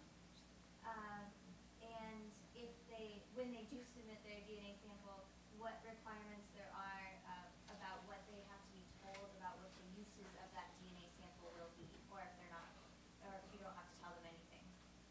Well, from a DOD perspective, we're required to inform individuals about the purpose for the collection of a DNA sample, in this case, including the authorities for the collection of that information and, uh, and whether the collection is mandatory or, or optional on their part.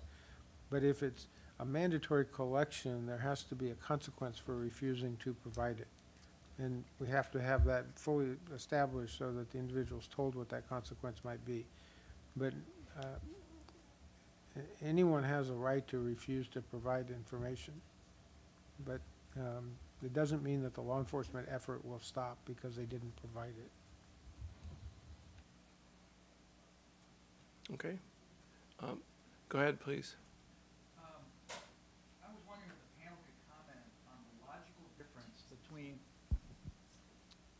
a DNA fingerprint and a fingerprint with respect to uh, how it's treated, and should they be different? I mean, I think the reason Congress called it DNA Fingerprinting Act was the STR is chosen, other than AML, which gives sex, give no personal information about a person, and they are tantamount to a different kind of fingerprint.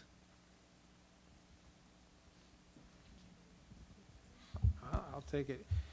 When, when we create a DNA profile and all of those coded numbers that construct that profile of an individual, that coding is a unique personal identifier, meaning that from that code, that number, that DNA profile, we can specifically use that number in appropriate databases to identify an individual. So that is an element that is personally identifiable to each individual. I mean, y- your DNA mapping is only relevant to you. I mean, one out of five trillion means that we have unique identifiers for each individual. So they're probably more accurate than fingerprints themselves. So they, it is a personal identifier and we treat it as such.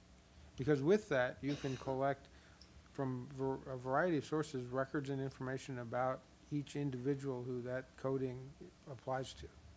So we treat it as pe- personally identifiable information and protect it as such. I understand, but I mean, my point was, it doesn't, the STRs don't code for anything in terms of physical characteristics. No, but they can be used to, to obtain that additional information. I mean, all of that can, that, all that can be used to retrieve personal information about individuals. So it's what you can get from that coding.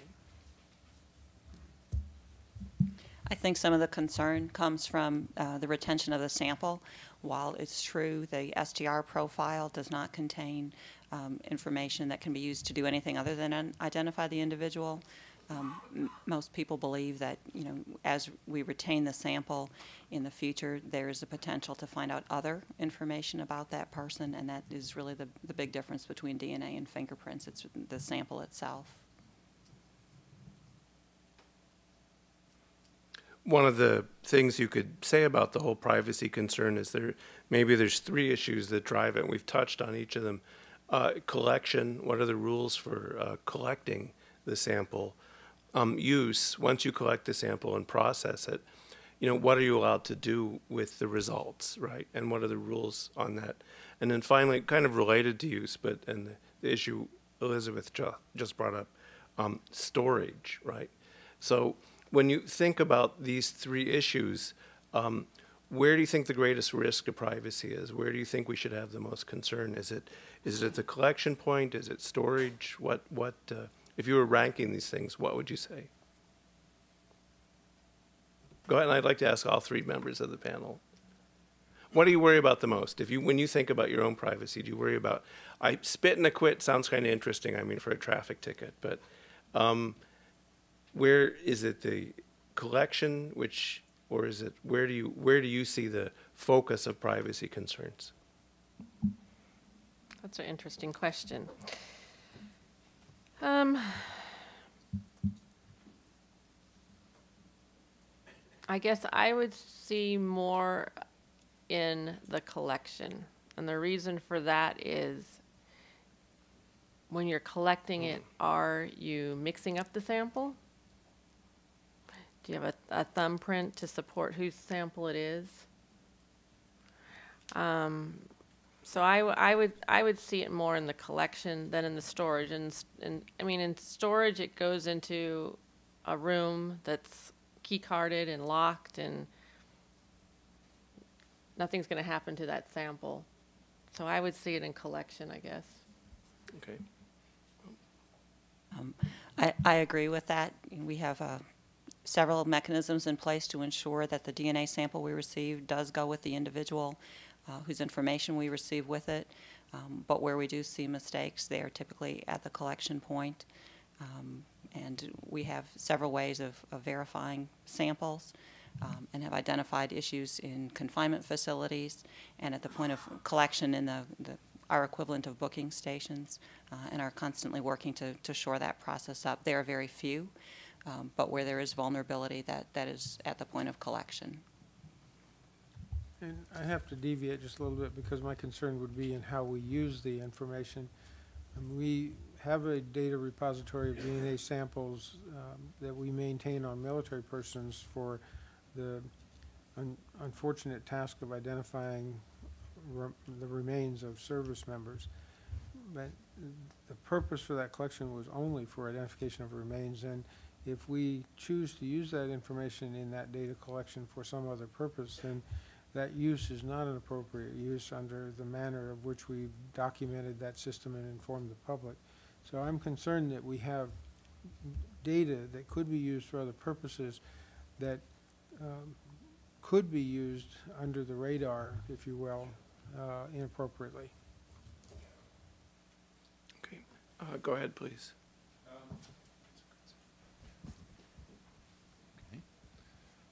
Um, The um, privacy issue as it applies to collection, um, it's interesting that uh, different state jurisdictions have different um, statutes for what is permissible for collection, and there's a wide variety across, um, across the United States and the federal government. So uh, perhaps half the states do permit uh, collection of samples for an arrest, including misdemeanor arrest like um, California. Uh, other states are only for felonies.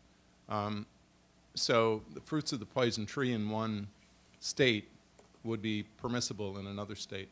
Um, the second thing that um, you have discussed is the um, concern for uh, effective collection and storage.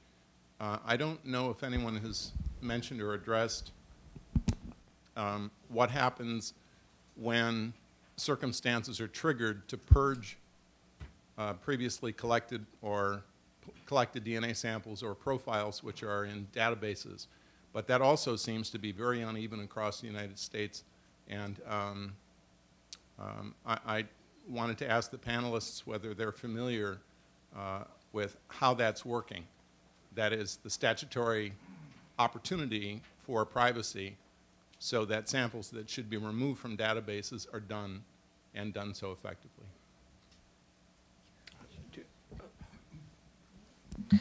Um, we, we do have an expungement program in California. We actually have an outreach um, section that that's that handles the expungements. Um, I can tell you we've had very few.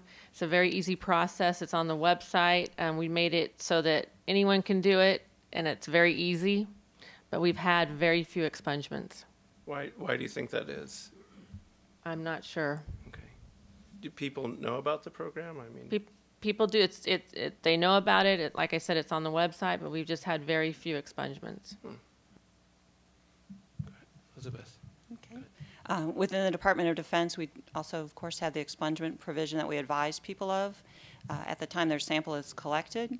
Uh, The instructions for how to get that are published in Department of Defense Instruction 5505.14, and that is available on the internet, uh, on the IG's website.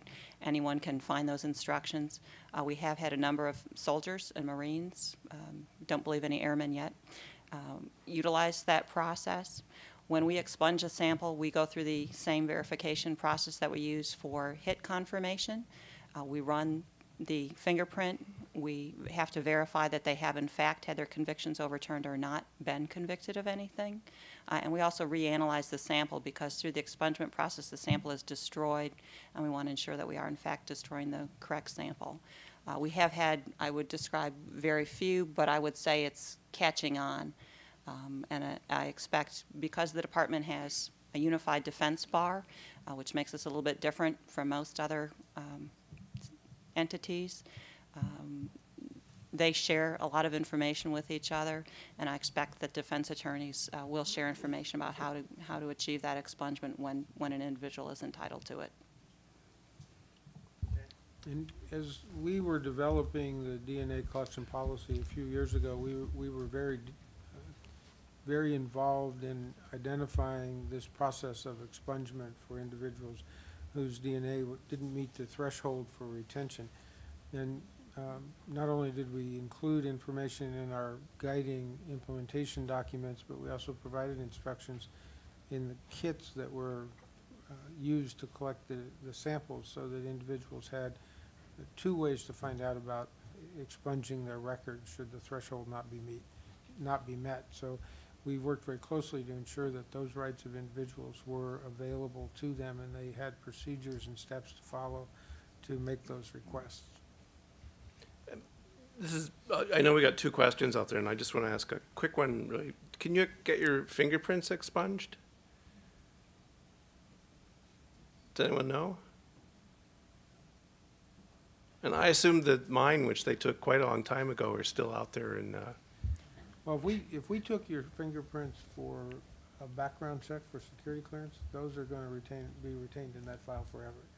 So, no. If, if we took the, if we took fingerprints related to a background check for a security clearance, those will be retained in that particular collection forever, until those records are retired or disposed of. So, uh, probably not, but if they were collected, if your fingerprints were collected for law enforcement purposes, for a law enforcement purpose, and the purpose was not carried out, you have the right to request that they be expunged. You always have the right to request that something be removed from a record if it's not accurate or relevant. And if the relevancy comes into play in this particular case where if, if your fingerprints were taken at the point of arrest and you were never charged with or convict, convicted of a crime, then you have the right to request that it, that it, that information be removed for its irre- irrelevance to the particular proceeding. So you always have the right to ask.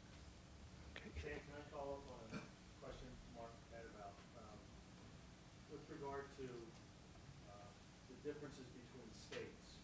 With- With regard to them, I should, um, my name's Tom Callaghan, I'm with the FBI Laboratory, and I was involved with with CODIS for, for many years.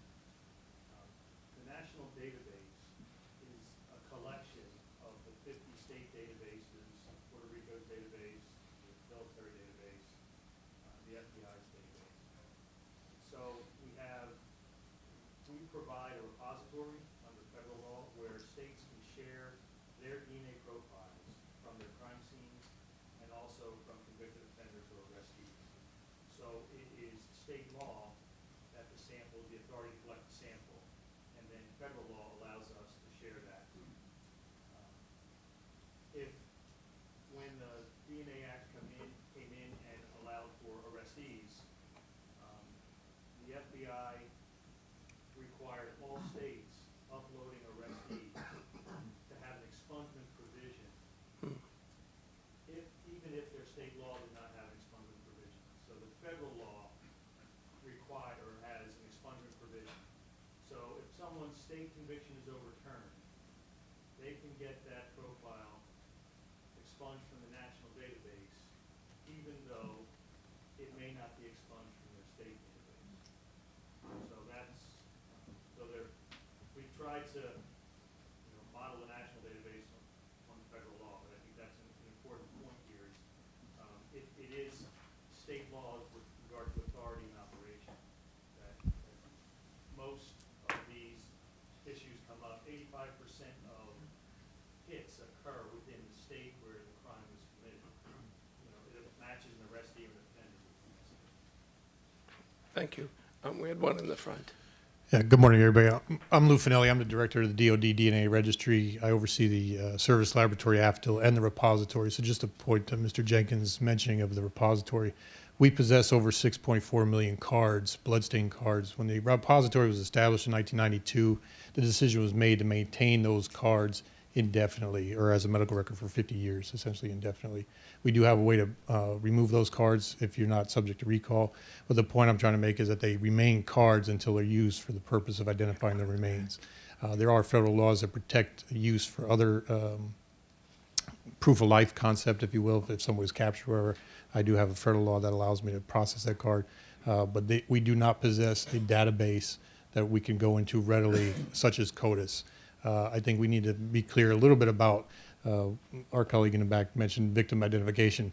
This conversation is pertaining specifically to law enforcement purposes. There are other uses for DNA within the federal government that those privacy questions uh, need to be addressed individually. And to where Cal DOJ is meeting and talking about it regularly, that's the sort of level of conversation that has to go on for each use. So victim identification, missing persons, law enforcement, uh, and Ken brought up uh, employee collections. It is imperative that we have a, a way to make sure that we don't have contamination in the products and for our laboratory staff. Once it's beyond the laboratory and the products that we use, the, the, the information that goes into CODIS or any of our victim identification databases is only as good as the way we could verify that information. So you could perpetuate a detective who, in good faith, tried to collect something uh, out at a crime scene or a guy downrange, and if there's no way to say it's our guy versus somebody else's guy, eh, you know, we're, just perpetuating, uh, you know, bad data. But the point, uh, main point I'm trying to make is we just have maintained bloodstained cards. So, Thank you.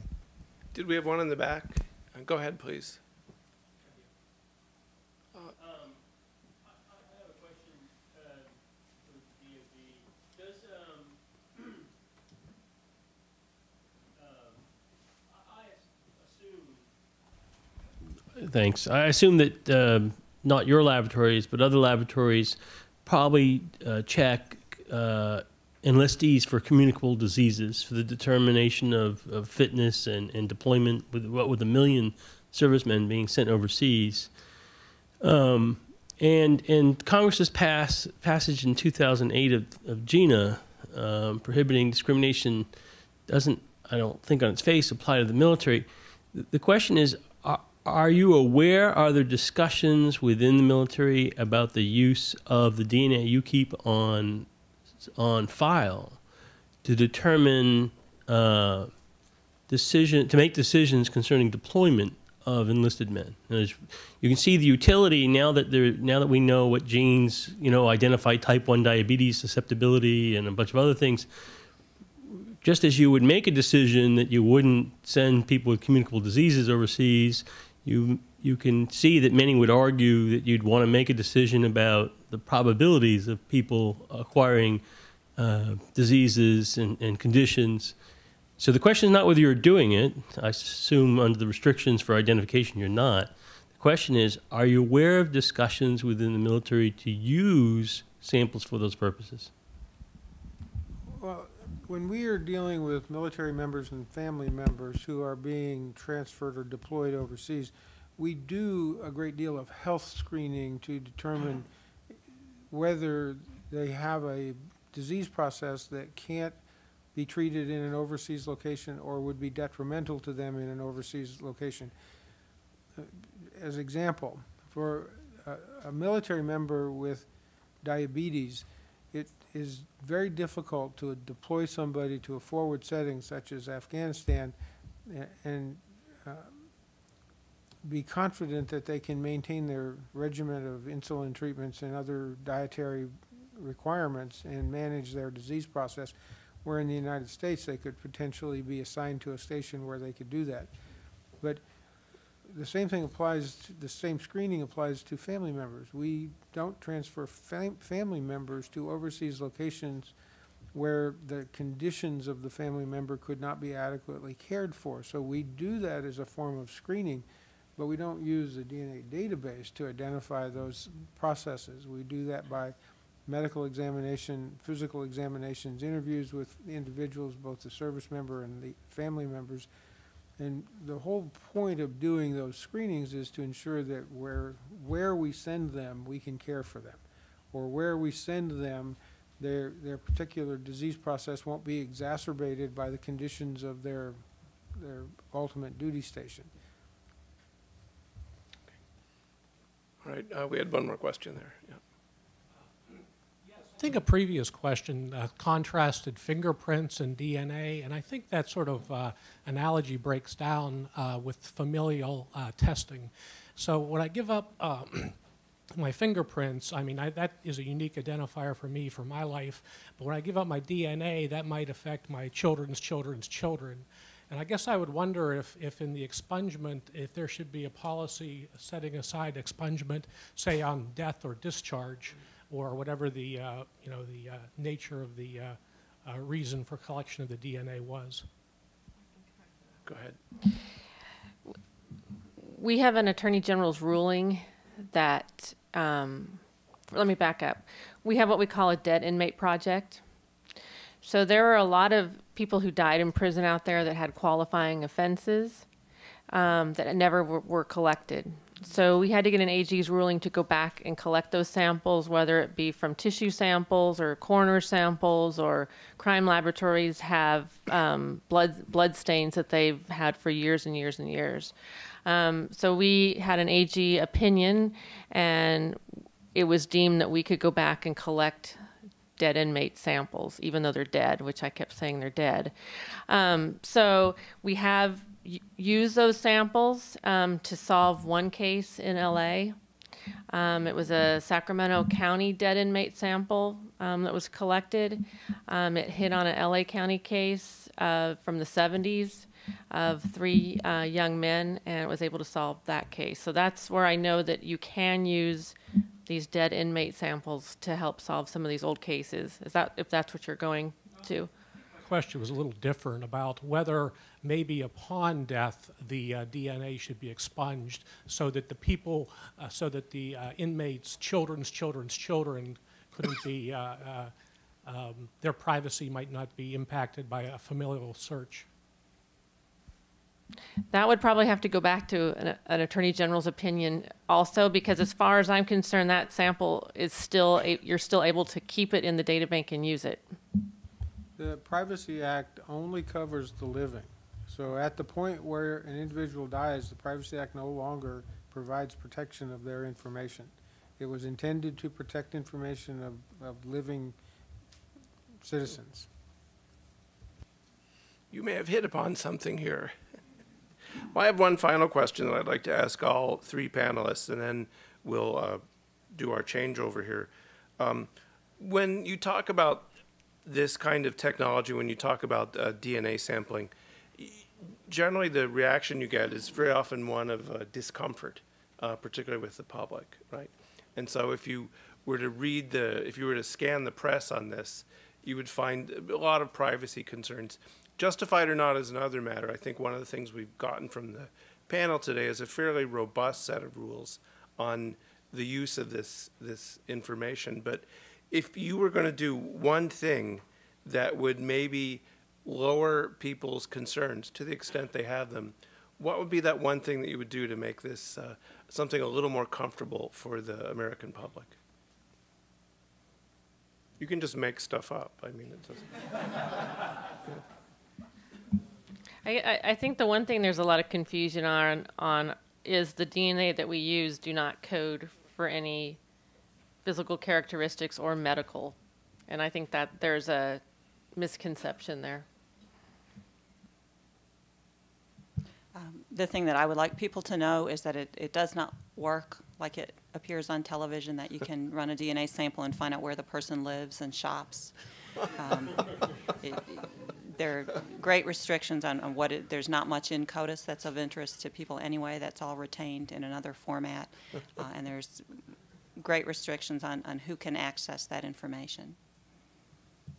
And, and I think these things, these limitations on how this data will be used need to be included in those, those informative statements as to why we're collecting it, what our authorities are, so that people understand at the point of collection that it's not as you see on television. It's completely different in, in our use than what you see, you know, on CSI.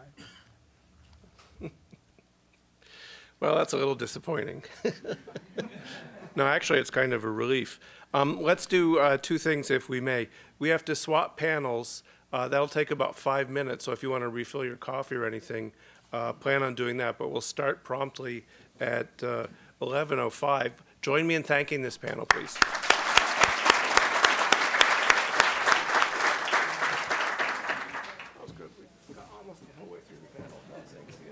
I know, almost. I'm going to dump my presentation. Waste basket. Oh, sorry. Oh, no, that's okay.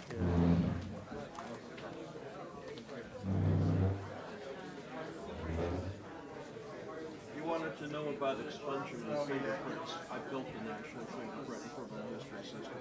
Um, for criminal purposes, uh, fingerprints are really used to ensure complete criminal record.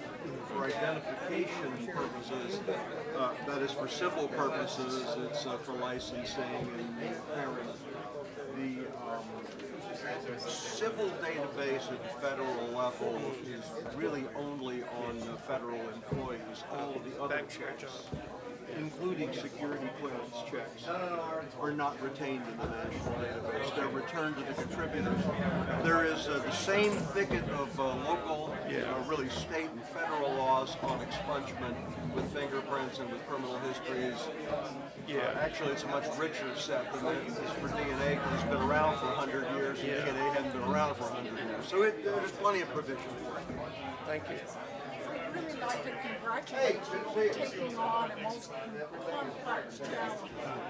I'd like to make an observation, which I might have done in the general audience, but I think You asked at what stage you most about intrusion. That is, I believe,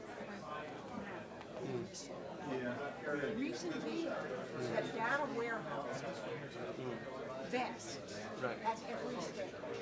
I would be more concerned about the system at which any data is pooled and data signature uh-huh. vests. IBM has created a complex, which I can discuss another time, uh, way of data pooling with forms of data signature on which I developed.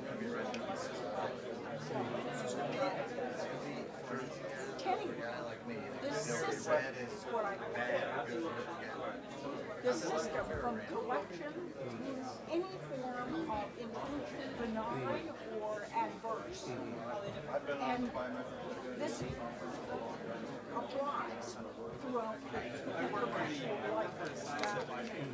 So, uh, that's something to talk about later. You might want to see if there's a point, because the next panel is on information sharing, and I will overlap with some of the points you just made, so you might want to think about it.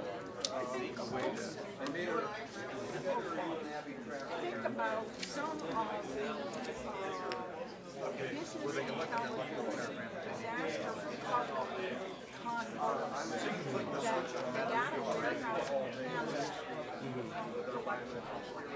applies to. Of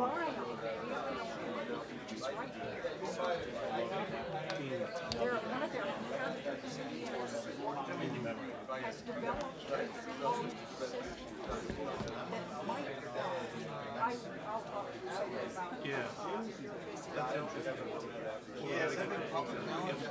EMC, I know, The president of that company is trying for effort they're over old foundry.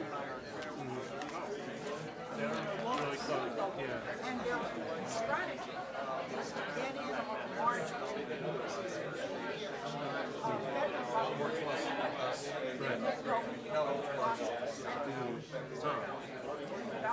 Yeah. Well, think about if there's a point to inject some of this in the next panel. That'd be great. Okay. Yeah, what time? I, I guess we should. Uh,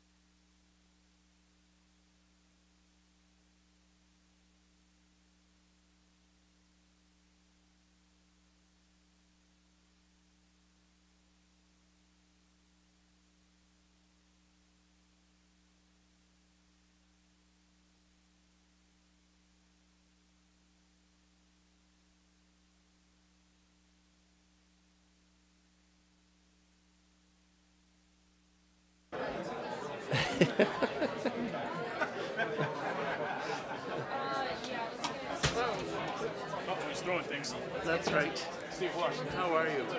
Good to meet you. You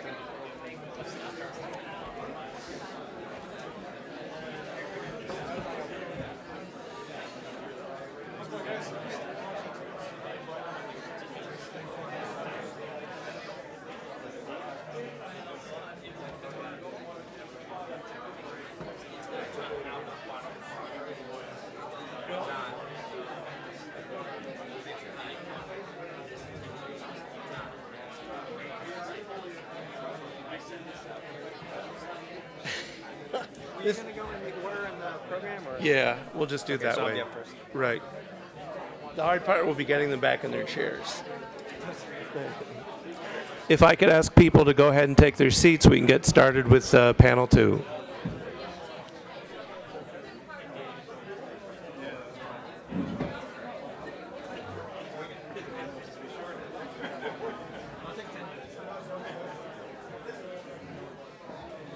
Do you want Tony or Um, so you can read it as Anthony, but um, Yeah. Okay. It doesn't matter. It's Lapadula. But if you butcher it, I'm used to it. I'm almost it. So, anybody else got a?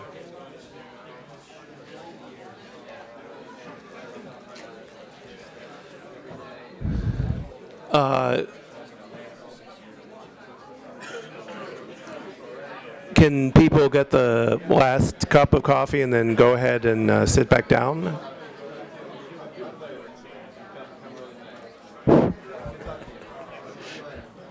Okay. We're getting there. What? No, I'm just trying to get them to sit down. Oh. Have somebody walk down the back and encourage them to sit down. Jose thinks we're going to be okay with food. Okay. Thinks that I'm overreacting. Yeah, okay. All right. Do, do me a favor and get the people in the back to sit down.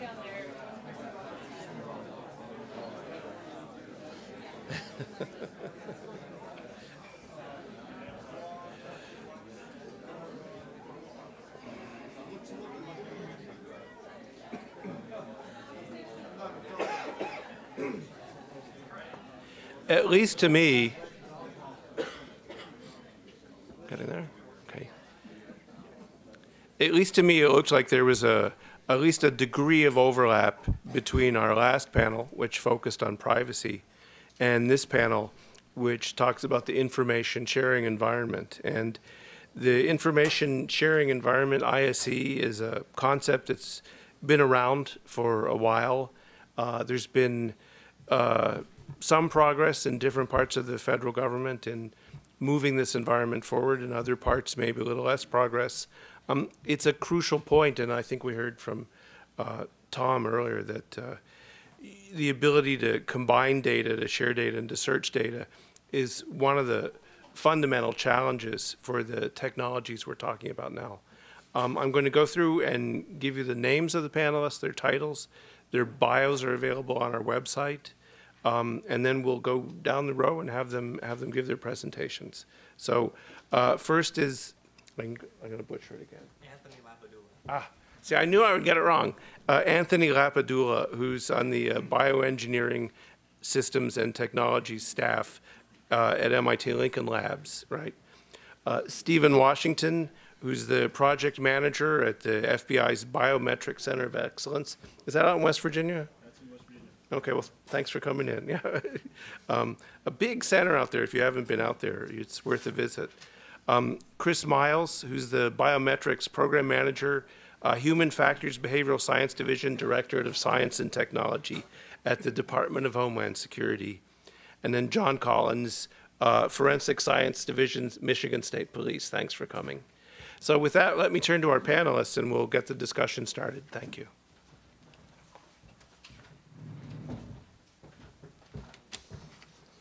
So, good morning. My name is Anthony Lapadula. I'm from MIT Lincoln Laboratory. Um, I'm a colleague of Paula's.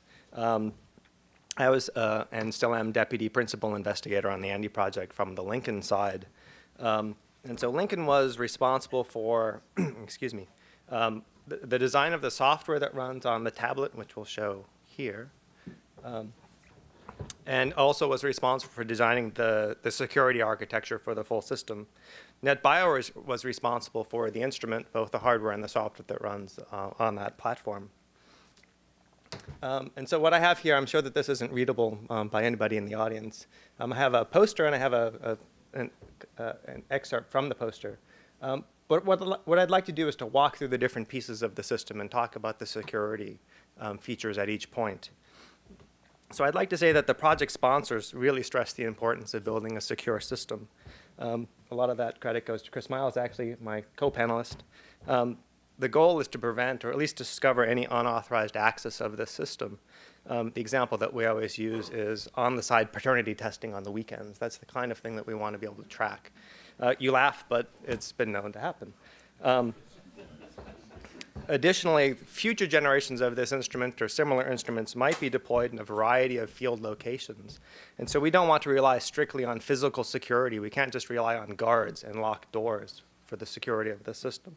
And so we built a number of security features into the system.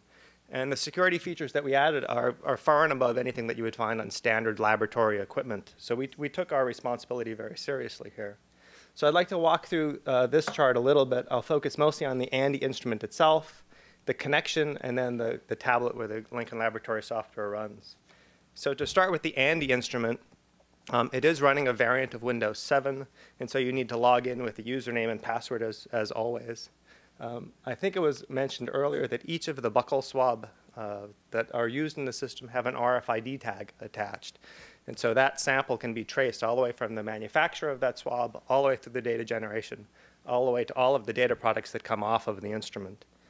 the STR profiles that are generated by the ANDE are encrypted, and they are stored in an encrypted format on the ANDE itself. And they're encrypted in such a way that the ANDE itself cannot decrypt them. You actually need the tablet to view and to manipulate the data. Um, and further, the ANDE instrument digitally signs all of the profiles that it generates.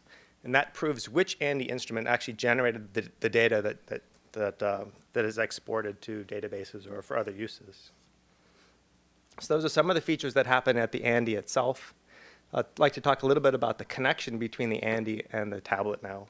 Um, the protocol that we use, and I'll try not to bore you with, with too much gobbledygook here, um, the protocol that we use is, is, Transport Layer Security, or TLS. Um, and this is what's typically used to secure uh, commercial web traffic. So if you're in your web browser and you are go to an HTTPS URL, um, um, you're using TLS under the cover. So this is a, a tried and true secure protocol. Um, and it guarantees that the data between the ANDE and the tablet are encrypted at all times. Further, we have a mutually authenticated TLS um, uh, protocol used here. It means that the ANDE presents cryptographic credentials that says, I am an ANDE. and those get handed to the tablet, and the tablet has to verify those cryptographic credentials.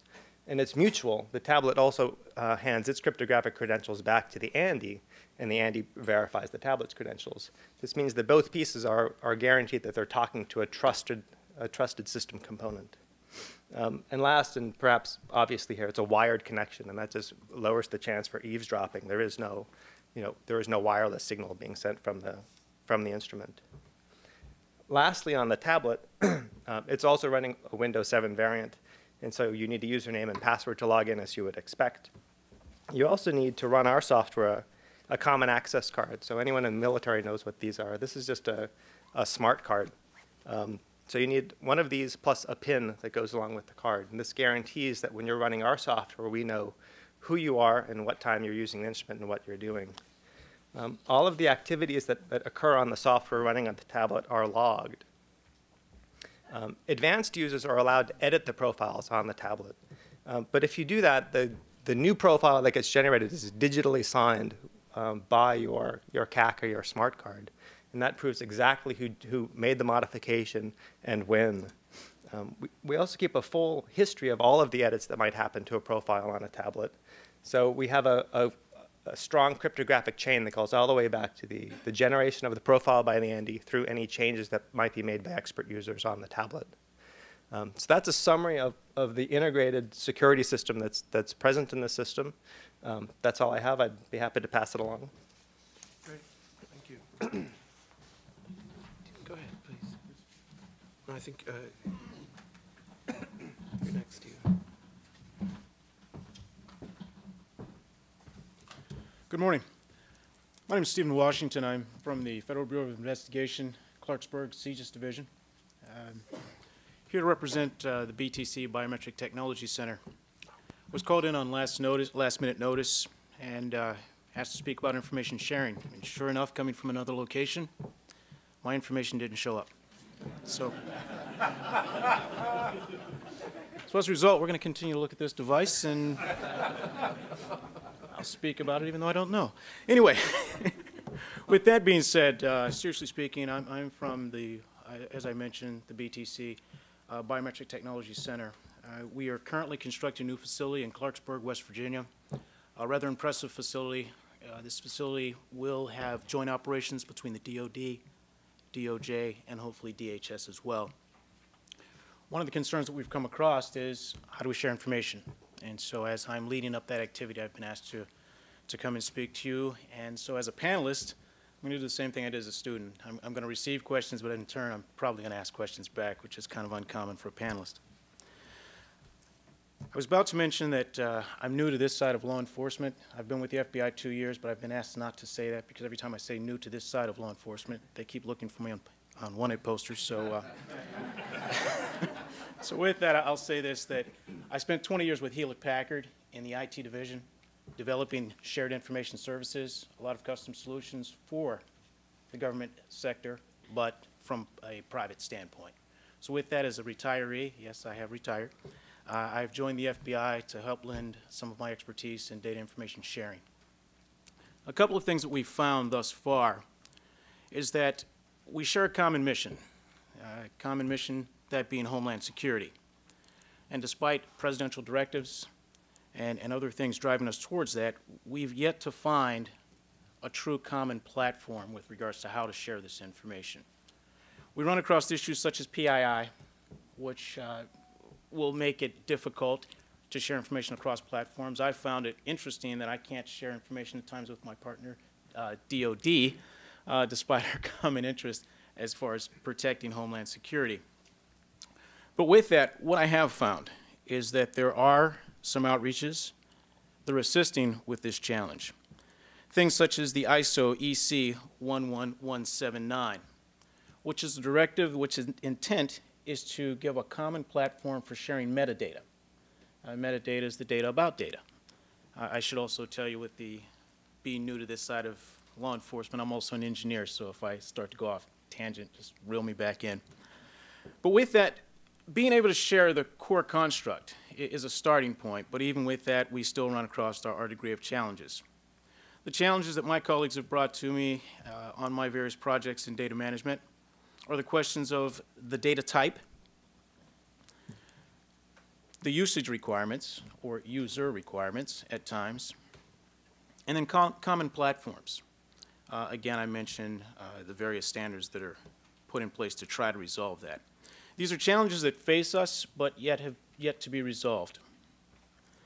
In 2005, September 2005, um, there was a, uh, a meeting with OPJ, and they came together with the general, uh, with the Global Justice Information Initiative, and uh, they endorsed something called the G, uh, excuse me, the GJXML. Uh, this is the Global Justice Dataset Model. This model is intended to provide a core construct for information sharing. It has lost steam since 2005, but nonetheless, I uh, invite you to take a look at, uh, at that particular entity, for it provides a very strong construct with regards to how information could be shared. Some examples of information sharing within the biometric space include biometrics.gov, fbi.gov slash about us slash CJIS, two locations that I would highly recommend that you visit. And um, the one wouldn't come up, so I'm not even going to give you that one because for the last two days that, that information has been down. I was going to ask you to turn to an article uh, that was produced by uh, NJI in November of 2011 with regards to sharing information on a global perspective. The need is greater than ever to share information amongst our common law enforcement entities. But th- with that request and demand to share information, what we have found is that the sharing of information at this point has resulted in fewer case closures than prior to the sharing of information. I found that information alarming, which tells me that our sharing routines are, are incorrect. It's hard to imagine that with more information, we're able to do less, which is a bit of a challenge that faces my team and I.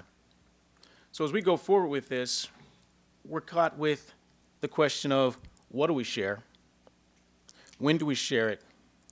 And whom do we share it with? Wrapped into that are a great construct of purpose. Uh, what is the purpose of sharing the information? What is the purpose of the request? So with that, as I mentioned earlier, I come to this panel to attempt to answer some of those questions with regards to information sharing. But obviously, I have quite a few questions on, uh, of my, of, I have quite a few questions that I'll issue to you with regards to what we need to do in this information sharing space. I invite you to visit us at Clarksburg, West Virginia, Biometric Center of Excellence, opening our doors in 2014. Thanks, guys.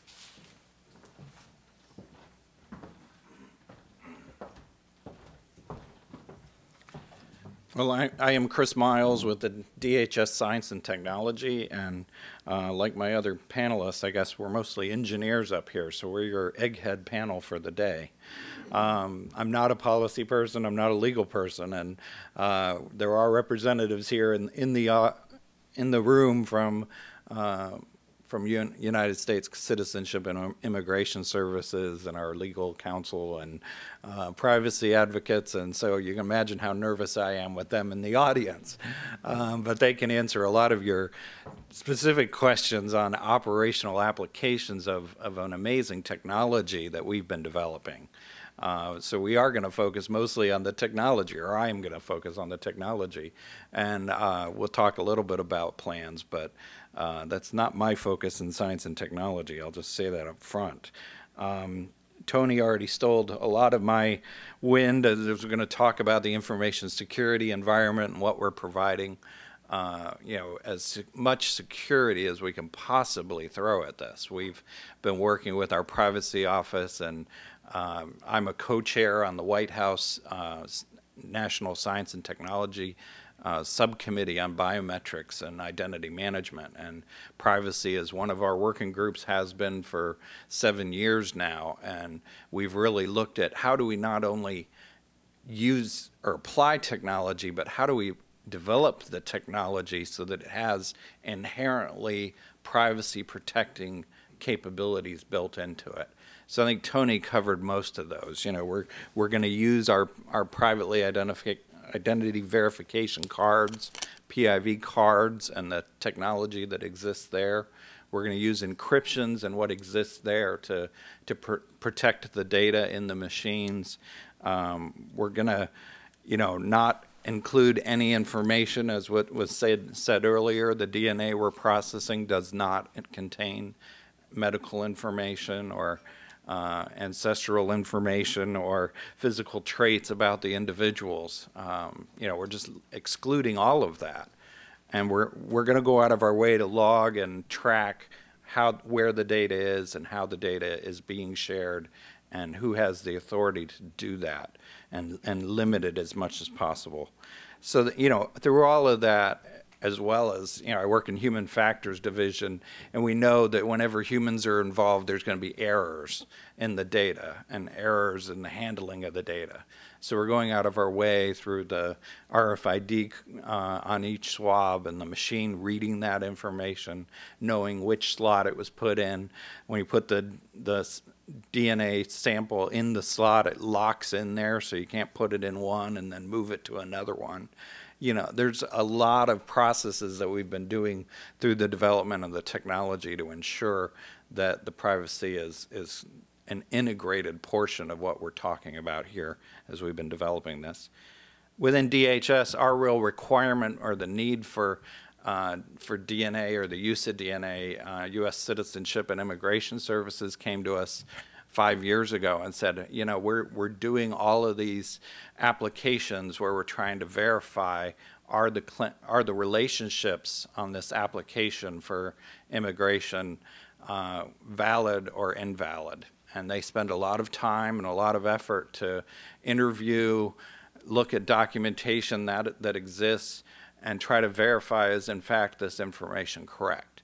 And um, they came to us and said, you know, we'd love for you to have a technology solution to this that can can validate these relationships. And their their requirement was five minutes.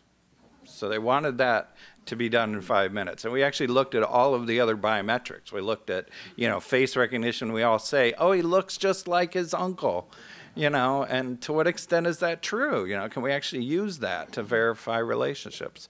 And it turns out it's not very strong. It's, you know, uh, there, and there hasn't actually been a lot of studies on that. You know, the dangling earlobes, the, you know, all of these characteristics that we all say, oh, yeah, these are genetic things that are passed down. To what extent could we use those?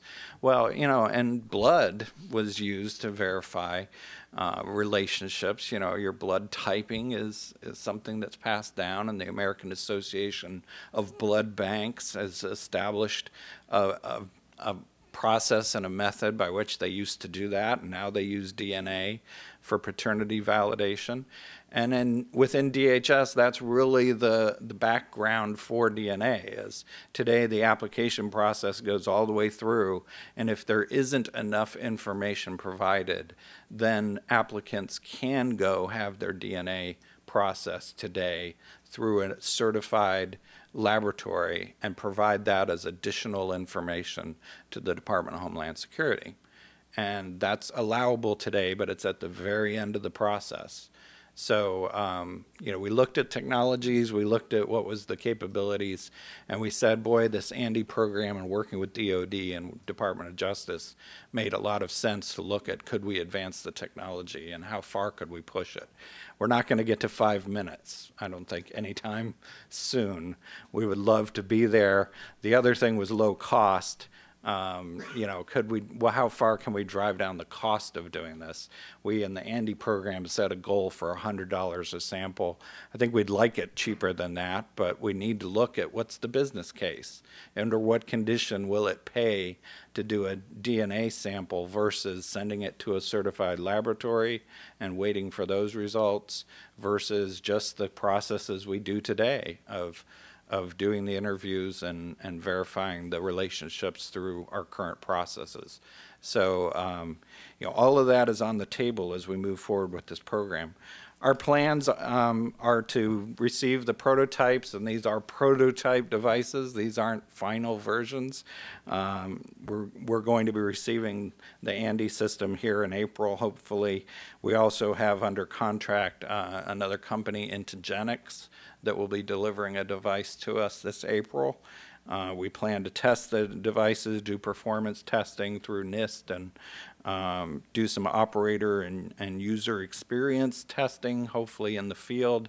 Uh, with USCIS, we, we hopefully are moving forward and working through all the privacy impact assessments and everything that has to be done to, to hopefully allow us to go out and do some DNA collection in the field um, you know, under very limited conditions, people that are volunteering to give their DNA at this point.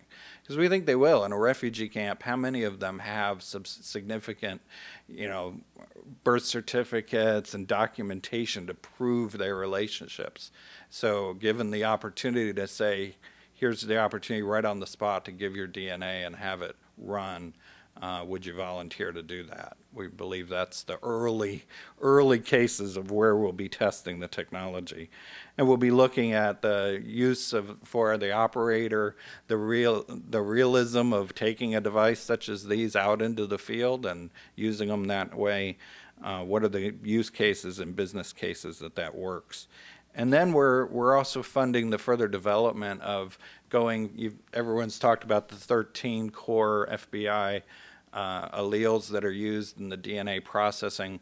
We're funding expanding that out to about 27 that uh, will allow us to go from just parent-child relationships to uh, grandparents and grandchildren, siblings. Um, you know, these are also uh, relationships that we need to verify. We also need to develop the, tech, the software capability to process that in the field. Uh, and today, the expert system that allows that kind of processing of those extended relationships is something that a tra highly trained technician needs to do. So, to move that to an operator that can use that piece of equipment in the field uh, is something that we're working on as well. Um, so, that's about all I have to say. I'll be happy to answer any of your questions, and thank you very much. Thank you.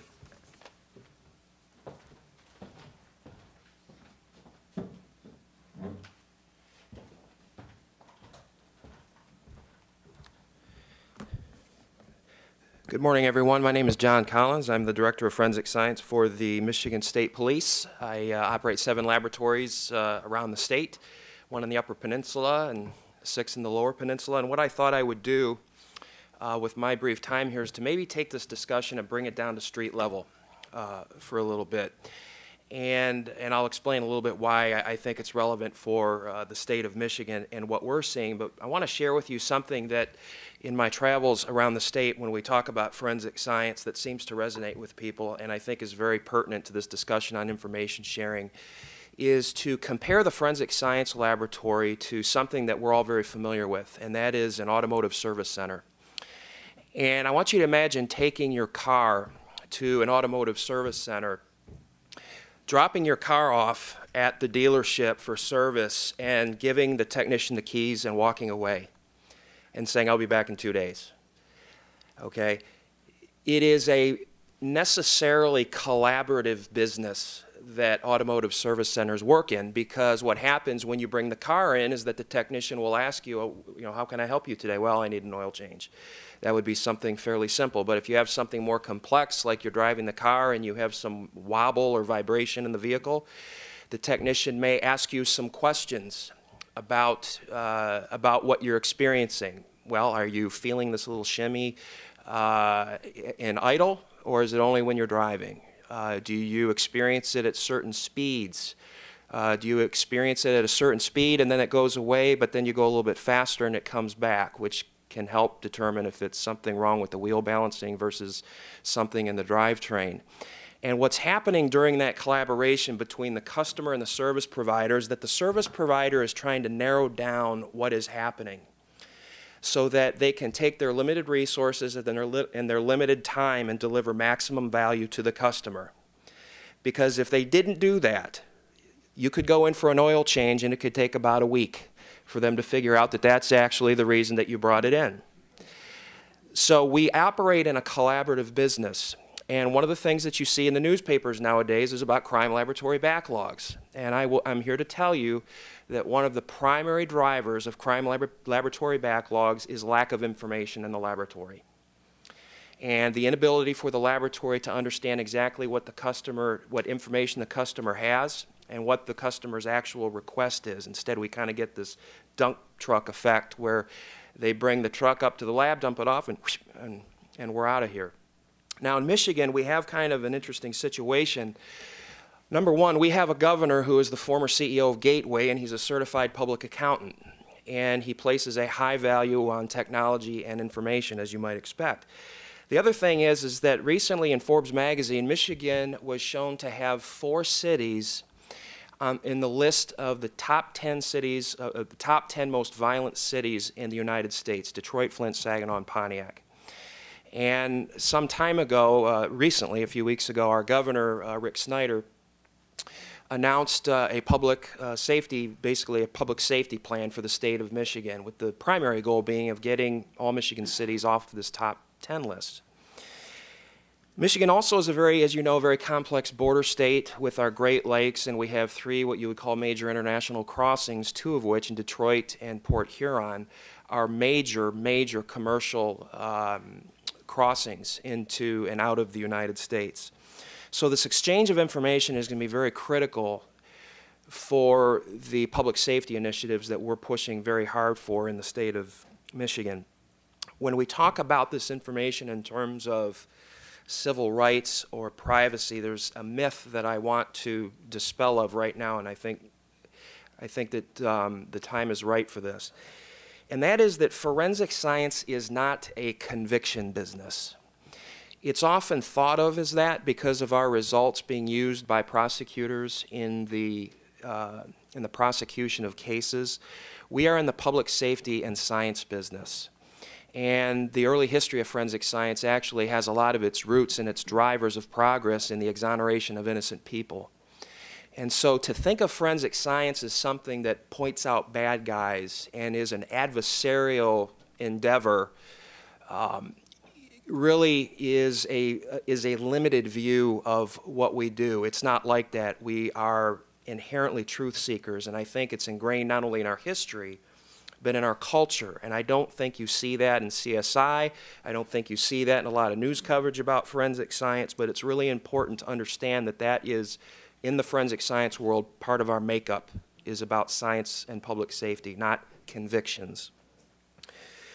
Um, one of the things to keep in mind when we talk about the collection potentially of DNA from, in particular, arrestees, which is we're seeing is kind of what we're moving towards in the criminal justice system is that a lot of the suspects that we arrest in the criminal justice system are not only suspects and potential perpetrators of crime, they are also at an elevated risk for victimization as well for a lot of different reasons, including their personal socio- socioeconomic uh, situation. And when we look at some of the trends and some of the problems that we're seeing in terms of human trafficking, uh, human and particularly child exploitation, the potential of gathering th this biometric data, if you will, and collecting this at the booking uh, process of our uh, law enforcement system also produces some dividends for these individuals, not uh, that goes far beyond just the adjudication and investigative uh, investigation of the case, but also potentially protecting these individuals from becoming missing, becoming uh, victims of human trafficking, human trafficking, uh, whatever it may be. It also mitigates a problem in many jurisdictions of jail overcrowding. Uh, you'll hear stories from law enforcement officials about the fact that, well, we're making these arrests uh, I would like to be able to go into a shopping mall and arrest somebody for shoplifting because that individual may be also committing rapes. Uh, but we can't do that because we have jail overcrowding. Well, one of the advantages of DNA collection is that it mitigates that risk because it can help deliver value to that arrest uh, because of a potential DNA collection, even though that individual will not be uh, lodged in, a, uh, in some type of a correctional facility or jail. So this brings me finally to the concept of information sharing. Information sharing, as I alluded to with my analogy with the Automotive Service Center, is essentially a resource multiplier.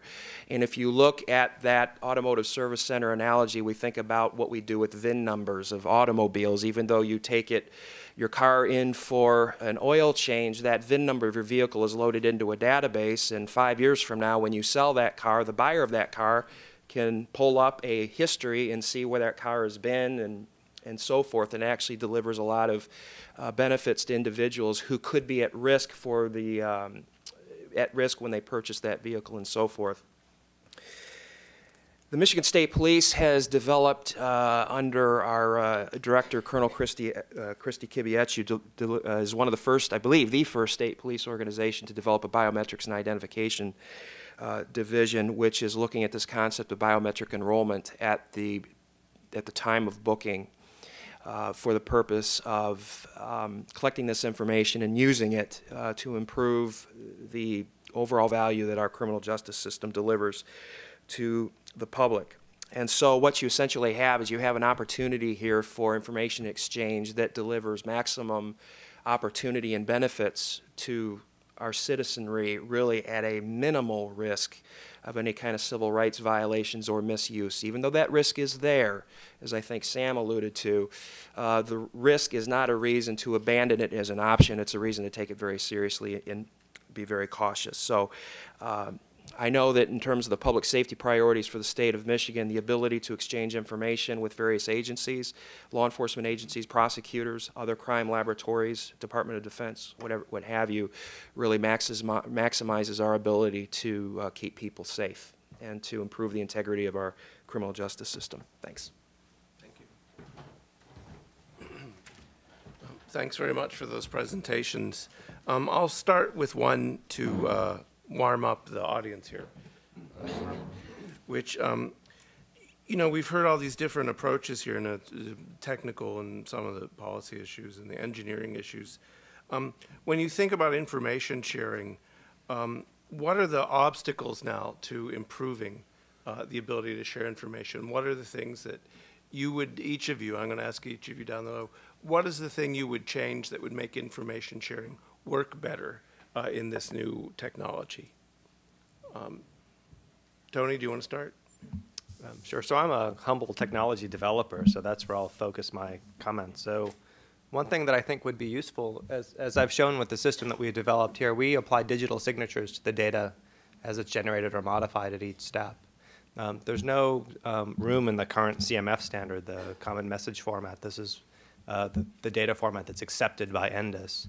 There's no room for digital signatures in that standard, but that's an example where we could apply technology to track who generated this, this profile, and you can, you can make that association in a, in a strong cryptographic way.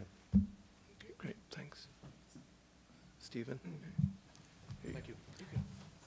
Uh, user identification. Uh, whom is accessing the information uh, would be very helpful with regards to uh, the collaboration uh, of data sets.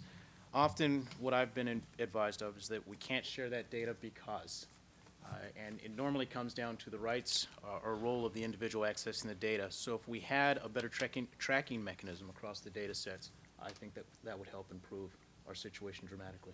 Okay, great. Chris. Well, fortunately, uh, this last year, the NIST kind of took the lead on establishing for us um, the data sharing standard for uh, DNA and kinship information. So ANSI NIST 2011-1, Brad Wing back here is the was the head on pushing that forward, includes now type 18 record is DNA data. Um, it includes, uh, I think there were like 40 organizations involved in developing what that data uh, envelope should look like so that the information on uh, DNA can be can be shared. Uh, so fortunately, we have that in place. It's really a question of uh, the authorities and the the um, adoption of that standard uh, that's in place. I think that will take a while before the community, you know, brings that on board. We'll we'll need to to validate that it's being used and being used correctly, and that um, you know, typically we we always have a problem with people kind of adopting the standard but twisting it a little bit to be their own unique version, and then suddenly you have data that can no longer, you know, doesn't match up well. And um, obviously, that can happen in DNA if we're not all processing the same DNA information. The FBI core 13 uh, loci to start with, and and a core set beyond that. So, uh, you know, policy I think is going to be, um, you know, rightfully so. It's going to take a while before we're allowed to take uh, immigration data and and run it against the FBI repository, uh, just because that that policy does not exist yet to be to allow us to do that. Um, and you know, a lot of questions on uh, how long we retain information for, how long we retain samples for, uh, and how long we keep that information for sharing. You know, I think those, um, you know, the in, in truth, this is no more data than any other biometric data that we have today. And we have processes for sharing biometric data uh, within the federal government. Uh, it's, it will just be a, policies that need to be put in place to allow the sharing of that information. And, and the, you know, I don't like most of the other biometrics. DHS has reasons for keeping the biometrics that it has we don't just give a copy of that to the other federal agencies. We allow them to, to send us information that we search and send them back results. And I think that's, that's a, a distributed architecture of who holds the data and who has the authorities for that data that obviously should continue on into DNA as well. I don't foresee us just openly giving everyone copies of the databases that exist. Chris, maybe um, I want to be clear. One of the questions I was going to ask, and then we'll see if the audience has anything, is you're saying there's a common format for data now? Is that a, did I, am I missing? Maybe the folks from NIST want to comment on that. Yes, there is. Okay. Um, Yes, the ANSI NIST ITL one dash two. Well, I'm Brad Wing from uh, National Institute of Standards and Technology.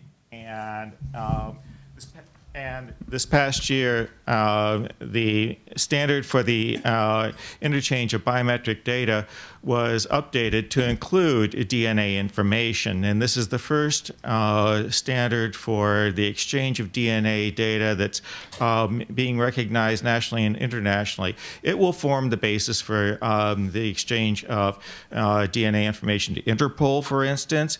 Uh, the FBI has already um, uh, taken the step of implementing the XML schemas uh, to be able to uh, accept the uh, the uh, DNA information, and it does include the capability to include the uh, encryption, uh, cryptographic um, reference information, the data signatures, and things like that. This standard has been around since 1986, um, and it was originally um, brought about to exchange fingerprint minutia information. Uh, it forms the basis for um, the biometric data exchange to the FBI, to DoD. Uh, for US-VISIT, U.S. Visit is building um, their uh, DNA data repository based upon the standard, which was released in uh, in November. So uh, it's already gaining traction, um, and uh, uh, I think uh, it's one place to look at. It's available if you go into biometrics.nist.gov. And on the right hand side, there's a button which will take you to the standards homepage. The standard is um, available to be downloaded for free. There are um, on that web page. There's the list of the loci. It also includes uh, loci for things like family tree and and the like, because in disaster victim identification, some people may have uh, had a DNA sample taken to establish their family tree, and so uh, the medical examiners may want to uh, take a DNA sample and compare it against that. So there are other uses uh, for it as well. But look at that. There's also um, uh, some information about best practices there. Great, thank you. Um, well, I had a question then for John. Um, you were maybe one of the more forward-leaning in talking about access to information, getting information, which I'm sort of in the same boat. But um, what information do you have now that you do, do you not have now that you would like to have access to? Do you know wh- what would the ideal system look like for you?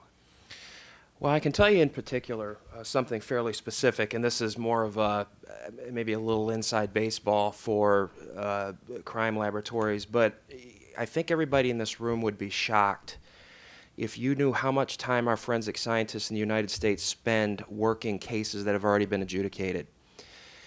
now, when you talk about DNA and latent prints, it's a little bit of a different problem because those are, in fact, that results in biometric data that can be searched, and so there's value to processing that evidence um, and uh, and using it for law enforcement purposes in a database uh, type of a, an environment.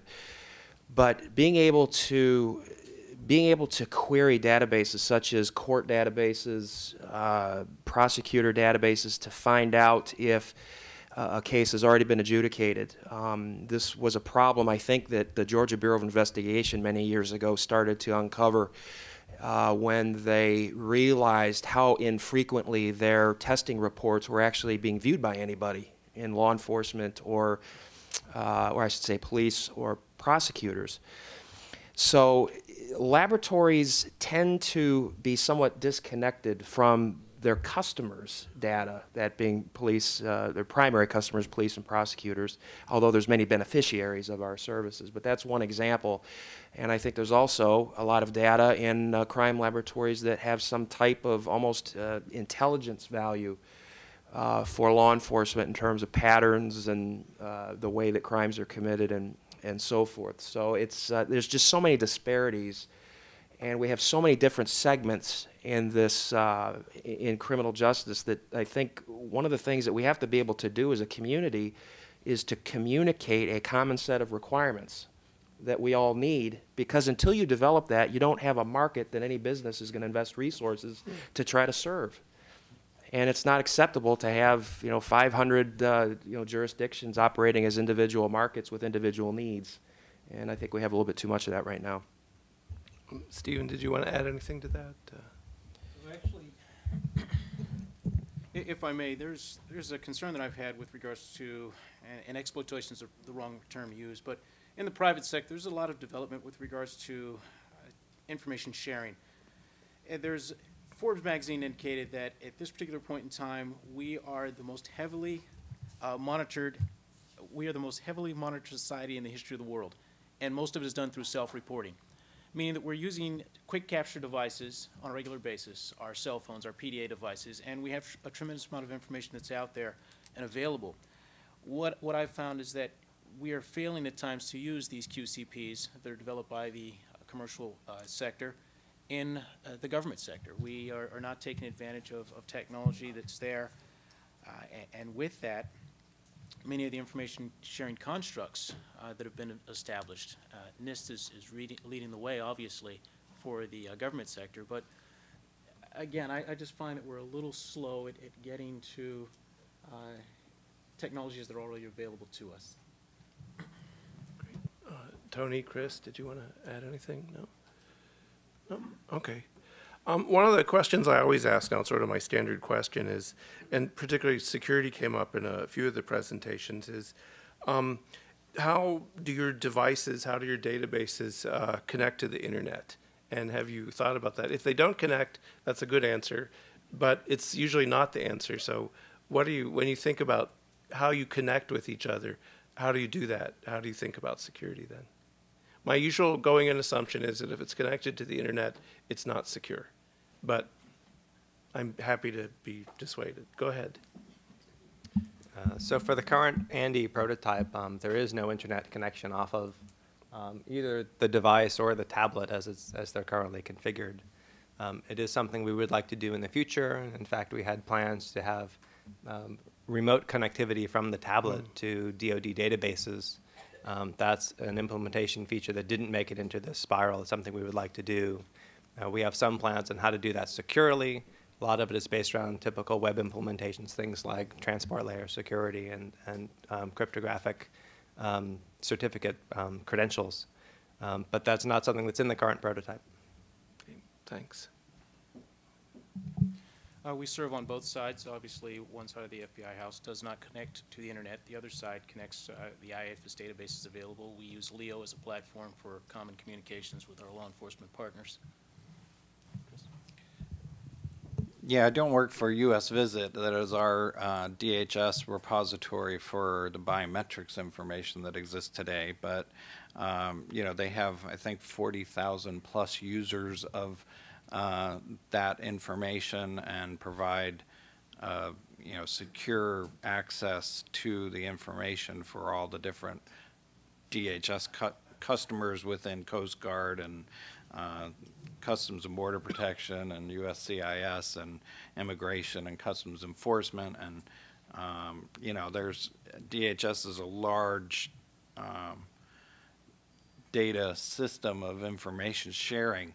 And, you know, our, our needs there, we almost refer to it as, um, as um, screening of individuals because we, we, talk, we touch so many humans every single day uh, going through airports and uh, the seaports and, and um, all around the country and, and world that um, you know we have 10, 30, 10 to 30 seconds to make most of our decisions on um, whether or not someone gains access to the country if, if that person is who they claim to be.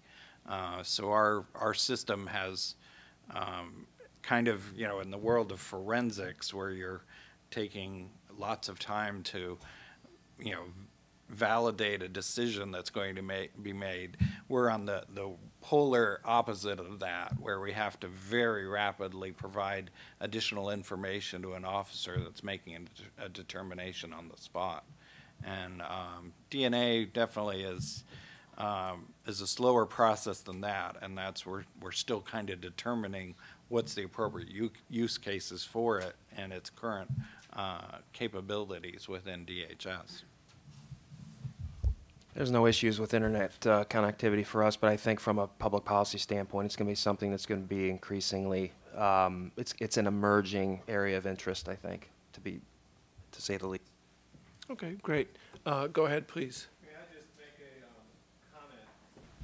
about communications, and a lot of it, and sharing information, a lot of it will depend upon interoperability of systems.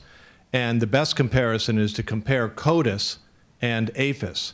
CODIS works great because they had the vision from the beginning and built the system from the bottom up so everyone could communicate. I, AFIS and IAFIS are a mess. Jurisdictions can't communicate with each other. They have different vendors. Uh, the encoding uh, process is different. So it's a very, very traumatic experience to try and search the databases you need to search in AFIS. So the comment is for purposes of if you're designing new things, you've got to design the interoperability of various vendors and using NIST to set the standards for the communication from the ground up. Then you get something like CODIS, which is tremendously uh, effective. So it sounds like in the case of this data and this technology, maybe building off the experience of AFIS, they managed to get things a little, little closer to being right. Is that fair? Well, yes, if they actually knew what the problem with AFIS was, which not many people really do. Yeah, you want to So- tell us? Well- No, that's okay. No, if you had three hours, I could tell you, but you don't have that. We have a question over there.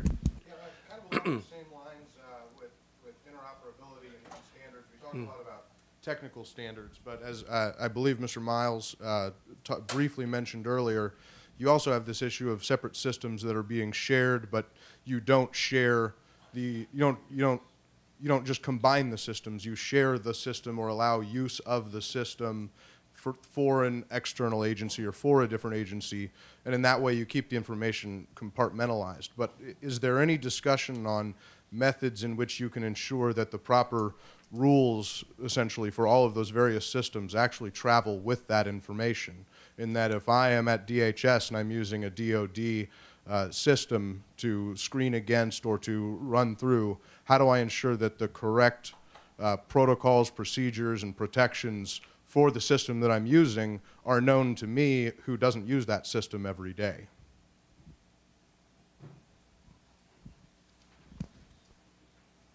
Hmm.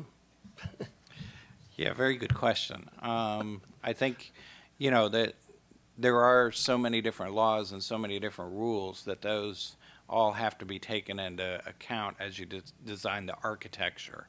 And I think you can design architectures that that maintain um, that level of information. Are, are we doing that today? I don't have enough insight into the information systems uh, that exist. I, I, I'm kind of working on the the devices um, that provide that information. Um, but you know that that I think I think you your question is a very good one and uh, something that we we have to be doing at the information uh, access level. Um, you know the I know the well I won't speak for the FBI but they do that today uh, with you know ensuring who can who can send information and who can uh, search the data and get you know who can get results back. So it's lots of policies and operational and training and you know all of those things that have to take place. Stephen, if I remember correctly, you said the Center for Excellence was going to open in 2014, but I thought there was already a big university program out there and a big uh, FBI data center and some other activities. Uh, I, you know, I already thought of you guys as the sort of national hub. Is that, was I, Uh, yes, we are the national hub for fingerprint information, and we do have several shared systems as well uh, on the campus. When I refer to the opening in 2014, that is with regards to the BTC, the Biometric Technology Center, which will be a center that will specialize in training of, of latent print uh, activity. It will also uh, specialize in the introduction of new biometric uh, devices. Quick capture platforms will be doing hopefully some DNA work out there. So it's a new center that we're opening in 2014, an expansion of the current campus. okay. What will you do when it comes to uh, merging fingerprint and DNA data? Is that something that? Well, that's, that's currently one of the major challenges we're, we're looking at. Um, The AFIS system, as, as was mentioned, is problematic. Uh, We, uh, we are making strides forward. Um, I- I'd rather not, not speak into any level of detail, but we do have the DAZZLE lab, which is giving us a bit of a construct that we can operate against, uh, forward thinking. We're taking a look at some other common strategies. Um, OMB Max would be one particular common uh, sharing platform that we're looking at. So there are certain uh, advanced technologies that we are looking at, but I don't have any details I can provide at this time. Okay, did we have other questions out there? Kat, oh, go ahead, I'm sorry. Just had a question about uh, kind of the architecture for sharing information across agencies. Um, We talked a lot about kind of information sharing within respective agencies, but as we kind of move to a a more global model, uh, do we think it's going to be more of a kind of a central repository where all data is located in one place and everybody searches it uh, from their own respective organizations? Or is each agency going to maintain their own kind of federated data and that's going to be globally searchable, searchable across all? Good question.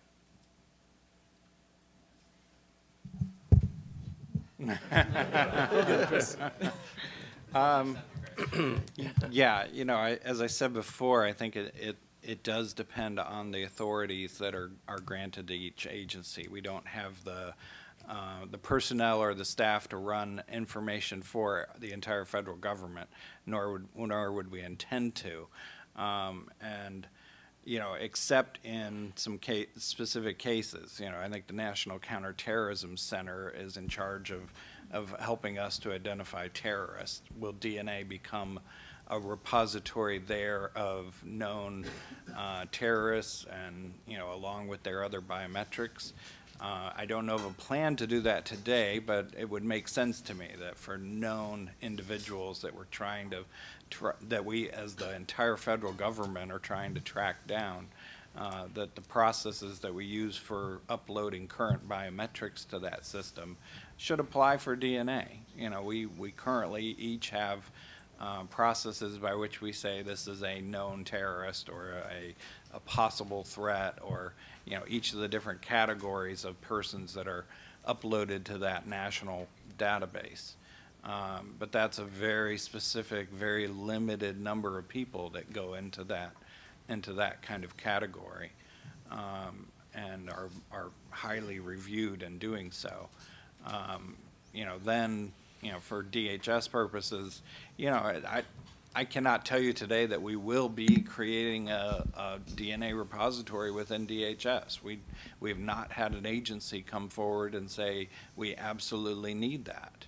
You know, within most of our applications, we're going to do the familial relationships. We're going to get a, is that valid as the application is, is uh, valid or not? And uh, we're probably going to print out a report and stick it in their file, and that may be the end of it.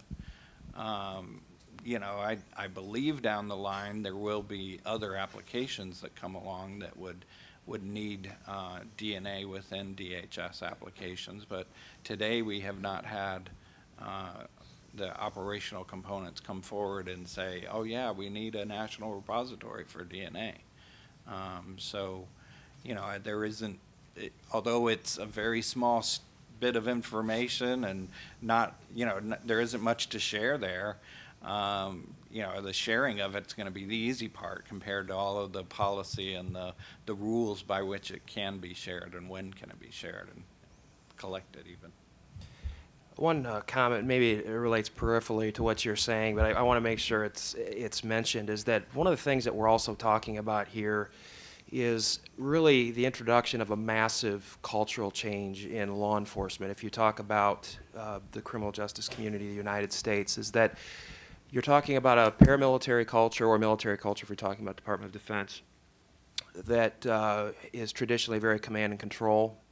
And we are introducing at a rapid pace high technology and science into this culture.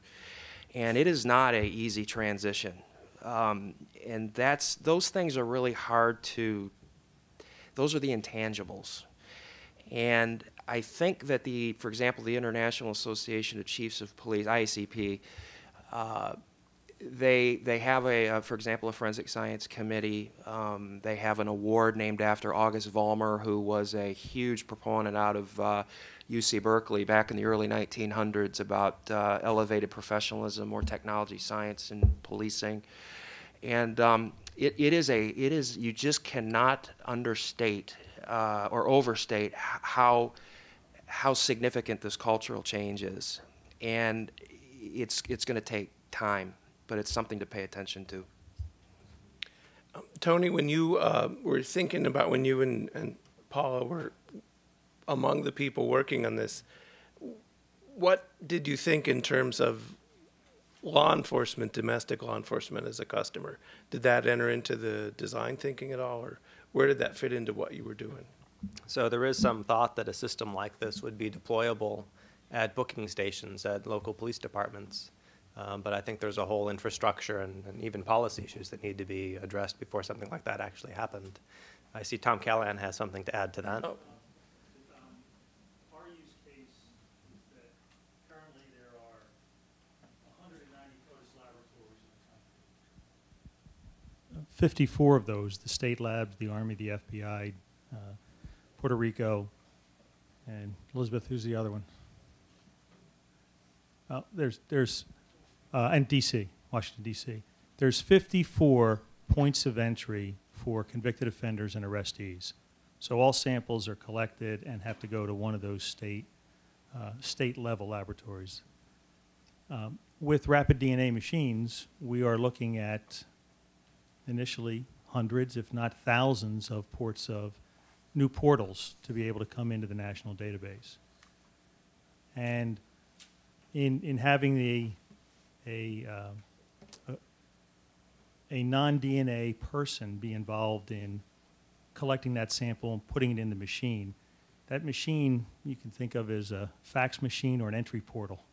Uh, the results will still be viewed, at least our uh, concept will be, re, will be viewed in one of those 190 laboratories. The laboratory who has the unsolved case gets the message that you have an unsolved case, you have an, un, an open case, and here's a DNA profile that is, has been associated with that case. So that's the, the use case, and then this would get at the uh, backlog problem. Those 54 labs can now concentrate solely, like the other uh, 126 labs in the country, on crime scenes, and that should uh, help reduce the backlog. So that's the use case for domestic law enforcement is to uh, put the portal, uh, follow the fingerprint, uh, the fingerprint model where the fingerprints booked in the or is collected at the point of arrest, and the DNA will be collected and analyzed and uploaded at the point of arrest. And one other thing, Ken, to to uh, there's a reason that Pete Vallone and I are sitting next to each other. Pete from NIST and the FBI. So uh, we have learned from the AFIS issues and uh, in all of our requirements compatibility not only with, uh, with the FBI, but uh, standards for the CODIS core, but with the international standards are, are being applied to these uh, machines. Great, thank you.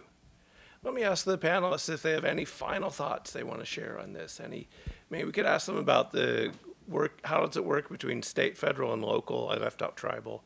Um, any final comments you want to make on this? No? I, will make just a real quick one. I, I've had the opportunity to work in the federal government, uh, two state uh, agencies, and also at the local level. And it's amazing how similar the problems are no matter what level uh, you move through um, in terms of information sharing and, and so forth. Back in 1996, when I was with the ATF, we had the bombing of the Olympics uh, in Atlanta. And then a series of serial bombings afterward by Eric Rudolph, who was later captured in North Carolina. And, and that was a great example in a very high profile, inter, of international significance, high profile case that where you, where you see the benefits of the potential benefits of really good, solid information sharing and how quickly it can go south if you don't have it. Um, Chris?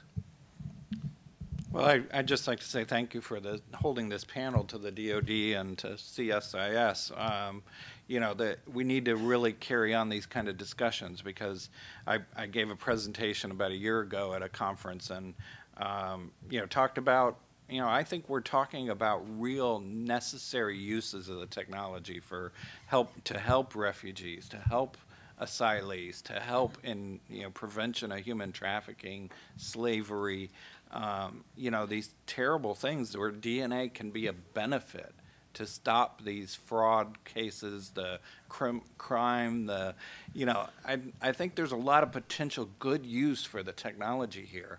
And then the next day, you know, in the news, it was run that, you know, starting this summer, we were going to collect DNA on everybody going through airports. You know, just total fraud, you know, on what I had said versus what was presented in the news the next day. So just to be clear, we're, we're not going to be starting to collect uh, DNA at airports. If, if No, we're not. and you know, it's it's a real problem that we have today that the the perception and the the privacy issues and the you know what's being said in the media is so 180 degrees out of what we our requirements are our restrictions our uh, things that we're doing to protect the the privacy of individuals uh, and the restrictions we have on how we can share data and and how we can use it uh, that that's not getting out there. I think the previous panel said that as well, and I, I don't know how we do that more effectively. Uh, we we obviously have to because uh, the, the there are the concerns and there are uh, the misperceptions that are taking place in huge ways. You know, the next month of my life, there was 30,000 postings a day on the internet, you know, describing these misuses of, of how we were going to be using DNA. And, you know, I, we, I spent, you know, innumerable hours and FOIA requests and things that followed on after that, uh, explaining, you know, our, how we're really going to use it. And uh, we're still supporting the program today, uh, but we, we have to, at, at every turn, be ready to answer those kind of questions and, and carry on this dialogue. So I, I think this was a good forum today, and I really appreciate the opportunity. Thanks. A crucial point, uh, Stephen. We've spoken a lot about uh, the potential, uh, often focusing on some of the negative con content of, uh, of data and information sharing. I was uh, interviewing one law enforcement person who indicated that CSI is my best friend but my worst enemy. They've indicated they go out into the field, and because I've seen it on television, every investigator should be able to pull a fingerprint off the ceiling of something that was thrown up and touched the ceiling. But, but with that, I have to candidly say that in my limited time here with the FBI, I've seen the collaboration of information between all uh, agencies, DHS, DOD, uh, and DOJ in particular. And in addition to that collaboration of information, the use of new technologies that will allow us a multimodal approach, be it using partial uh, information from a DNA swab, uh, facial recognition, fingerprints, et cetera, pulling information from multiple data sets to, to solve various crimes or prevent various activities from happening. I've been very impressed as an outsider coming in. So despite the fact that we've indicated there are several challenges with regards to information sharing, I believe that the horizon is very positive. The technology is out there. I think we have all agreed as panelists that uh, policy is more restricting factor than is um, technology. So with that, I just wanted to close on a, a note of saying thank you. And uh, as a newcomer, I'm, I'm very impressed by the work that's being done by our law enforcement personnel, our war fighters, and I'm just happy to be a part of trying to solve the puzzle of getting this information to a point where it's readily available on a quick capture uh, platform. Anthony, you get the last word. Excellent. So um, I'd like to thank uh, for the, thank you for the invitation to speak here today. Um, I'd like to echo a little bit what Stevens has said, that this, this technology is in its infancy. I think we have a lot of policy issues to work through. That's above my pay grade. But I am very interested in talking to people offline after this um, about other use cases that they might have for DNA and for their security and their analysis requirements. Um, we shouldn't look at this as a finished product. It's a fantastic prototype. It does amazing things. It does things that two years ago I would have bet were impossible. Um, but here it is. It exists. What can we do with the next version and the next version and the next version? That's the discussion I'd like to have. Okay, thank you. Well, join me in thanking this panel, please.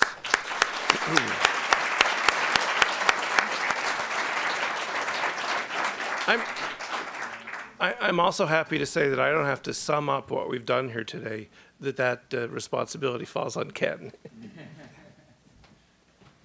Try to sum it up. I, uh, we did make a change in the schedule, so we did move up lunch because after looking at this thing, it's like, we're gonna have lunch and come back closing remarks. Who's gonna be, who's gonna be there? I'll be talking about myself or something, so.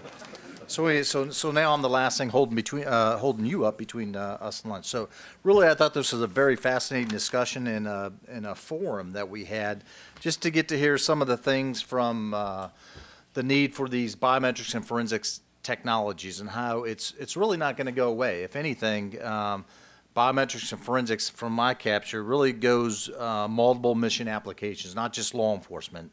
There's some intelligence applications, there's medical applications, counterterrorism, protection of the homeland. It's, there's a lot of things that it touches and it plays with. And really, this is just the beginning of uh, a lot of new efforts coming out there. Because the way, the way we look at it is we got to get information quicker and faster to the individual collecting it. The answer needs to be at that person rather than going back through laboratory systems and get the answer six or seven months. Ideally, that's where we'd, we'd want to go uh, to push technology to do those types of uh, um, turnaround times and with reliable information so people can make decisions and act upon the information that they're collecting. So uh, I do want to thank uh, Mr. Jim Lewis and uh, Katrina out here and uh, some of the helps and CSI for hosting and organizing this activity. I know it's. uh, CSIS. CSIS. Did I say CSI? You did. Okay, It's well. a bad word on this panel. Okay, that's right. That's almost like saying DHS is collecting DNA and what? Oh, and send, oh, and send all the privacy questions to DHS since they're well experienced with that. So if there's, if there's any freedom of information requests, I, Chris is going to take that on for us. So, so that's great. But, but speaking of that and how we help each other out with that kind of stuff, the, it's really the need for collaboration. Um, it's, it's pretty easy to, to look at a, a box in the back and it produces DNA results, but we, we just uh, scratched just some of the earth, uh, surfaces that the collaborative effort of the, in this particular case, the ANDE Steering Committee started several years ago. And th- this stuff really takes a lot of time. It's not only producing a piece of equipment, but you heard some of the pri- privacy issues, the policy issues, information sharing. There's requirements. There's a whole lot of stuff that goes into this, and it's not just about putting money towards that. So it's it's these activities of leveraging those existing organizations within the U.S. government to develop some whole of government approach uh, to address all those various issues because there's experts throughout the whole of U.S. government to do that. And I think we, we hit the mark pretty good uh, with uh, the rapid DNA effort and in trying to prevent those things that we encountered with the fingerprint identification system. So it just goes shows the power of your federal government and, and a lot of other expertise in the academia and the industry uh, to do so, do something great like uh, this particular effort. Uh, we talked a lot about policies. I probably got a list of 35 policies we probably got to look at at least to make sure that we're not ignoring. But there was some really good discussion. We do appreciate these types of forums, like Chris mentioned. Um, it's good to get these inputs uh, now uh, because the more you know about the issues and problems, um, if you know them three years ago, you can start building systems like this, understanding that you need to have these particular control measures or these security features and things like that. So these types of environments are very helpful for, for folks like me and, and other members of the steering committee to, uh, to understand as, as we push technology into the future. Um, And of course, always, always being mindful of the rights and privacies. That's really at our forefront. I mean, th- there are a lot of misconceptions out there. We're all trying to do the right things. You know, we're trying to depend on what your mission application is. We're not really interested in the biomedical information behind this, not this community and the, and the other communities that we're involved in, but uh, certainly um, interested in protecting the privacy because we are U.S. citizens just like just like others. So, so again, I found this fascinating. I want to thank uh, all the panel members uh, Mr. Riley, Dr. Pomianowski, and, and others. Uh, Mr. John Boyd for uh, actually giving us some resources to do this particular event. Thank you very much for that. And uh, enjoy lunch. Until next time.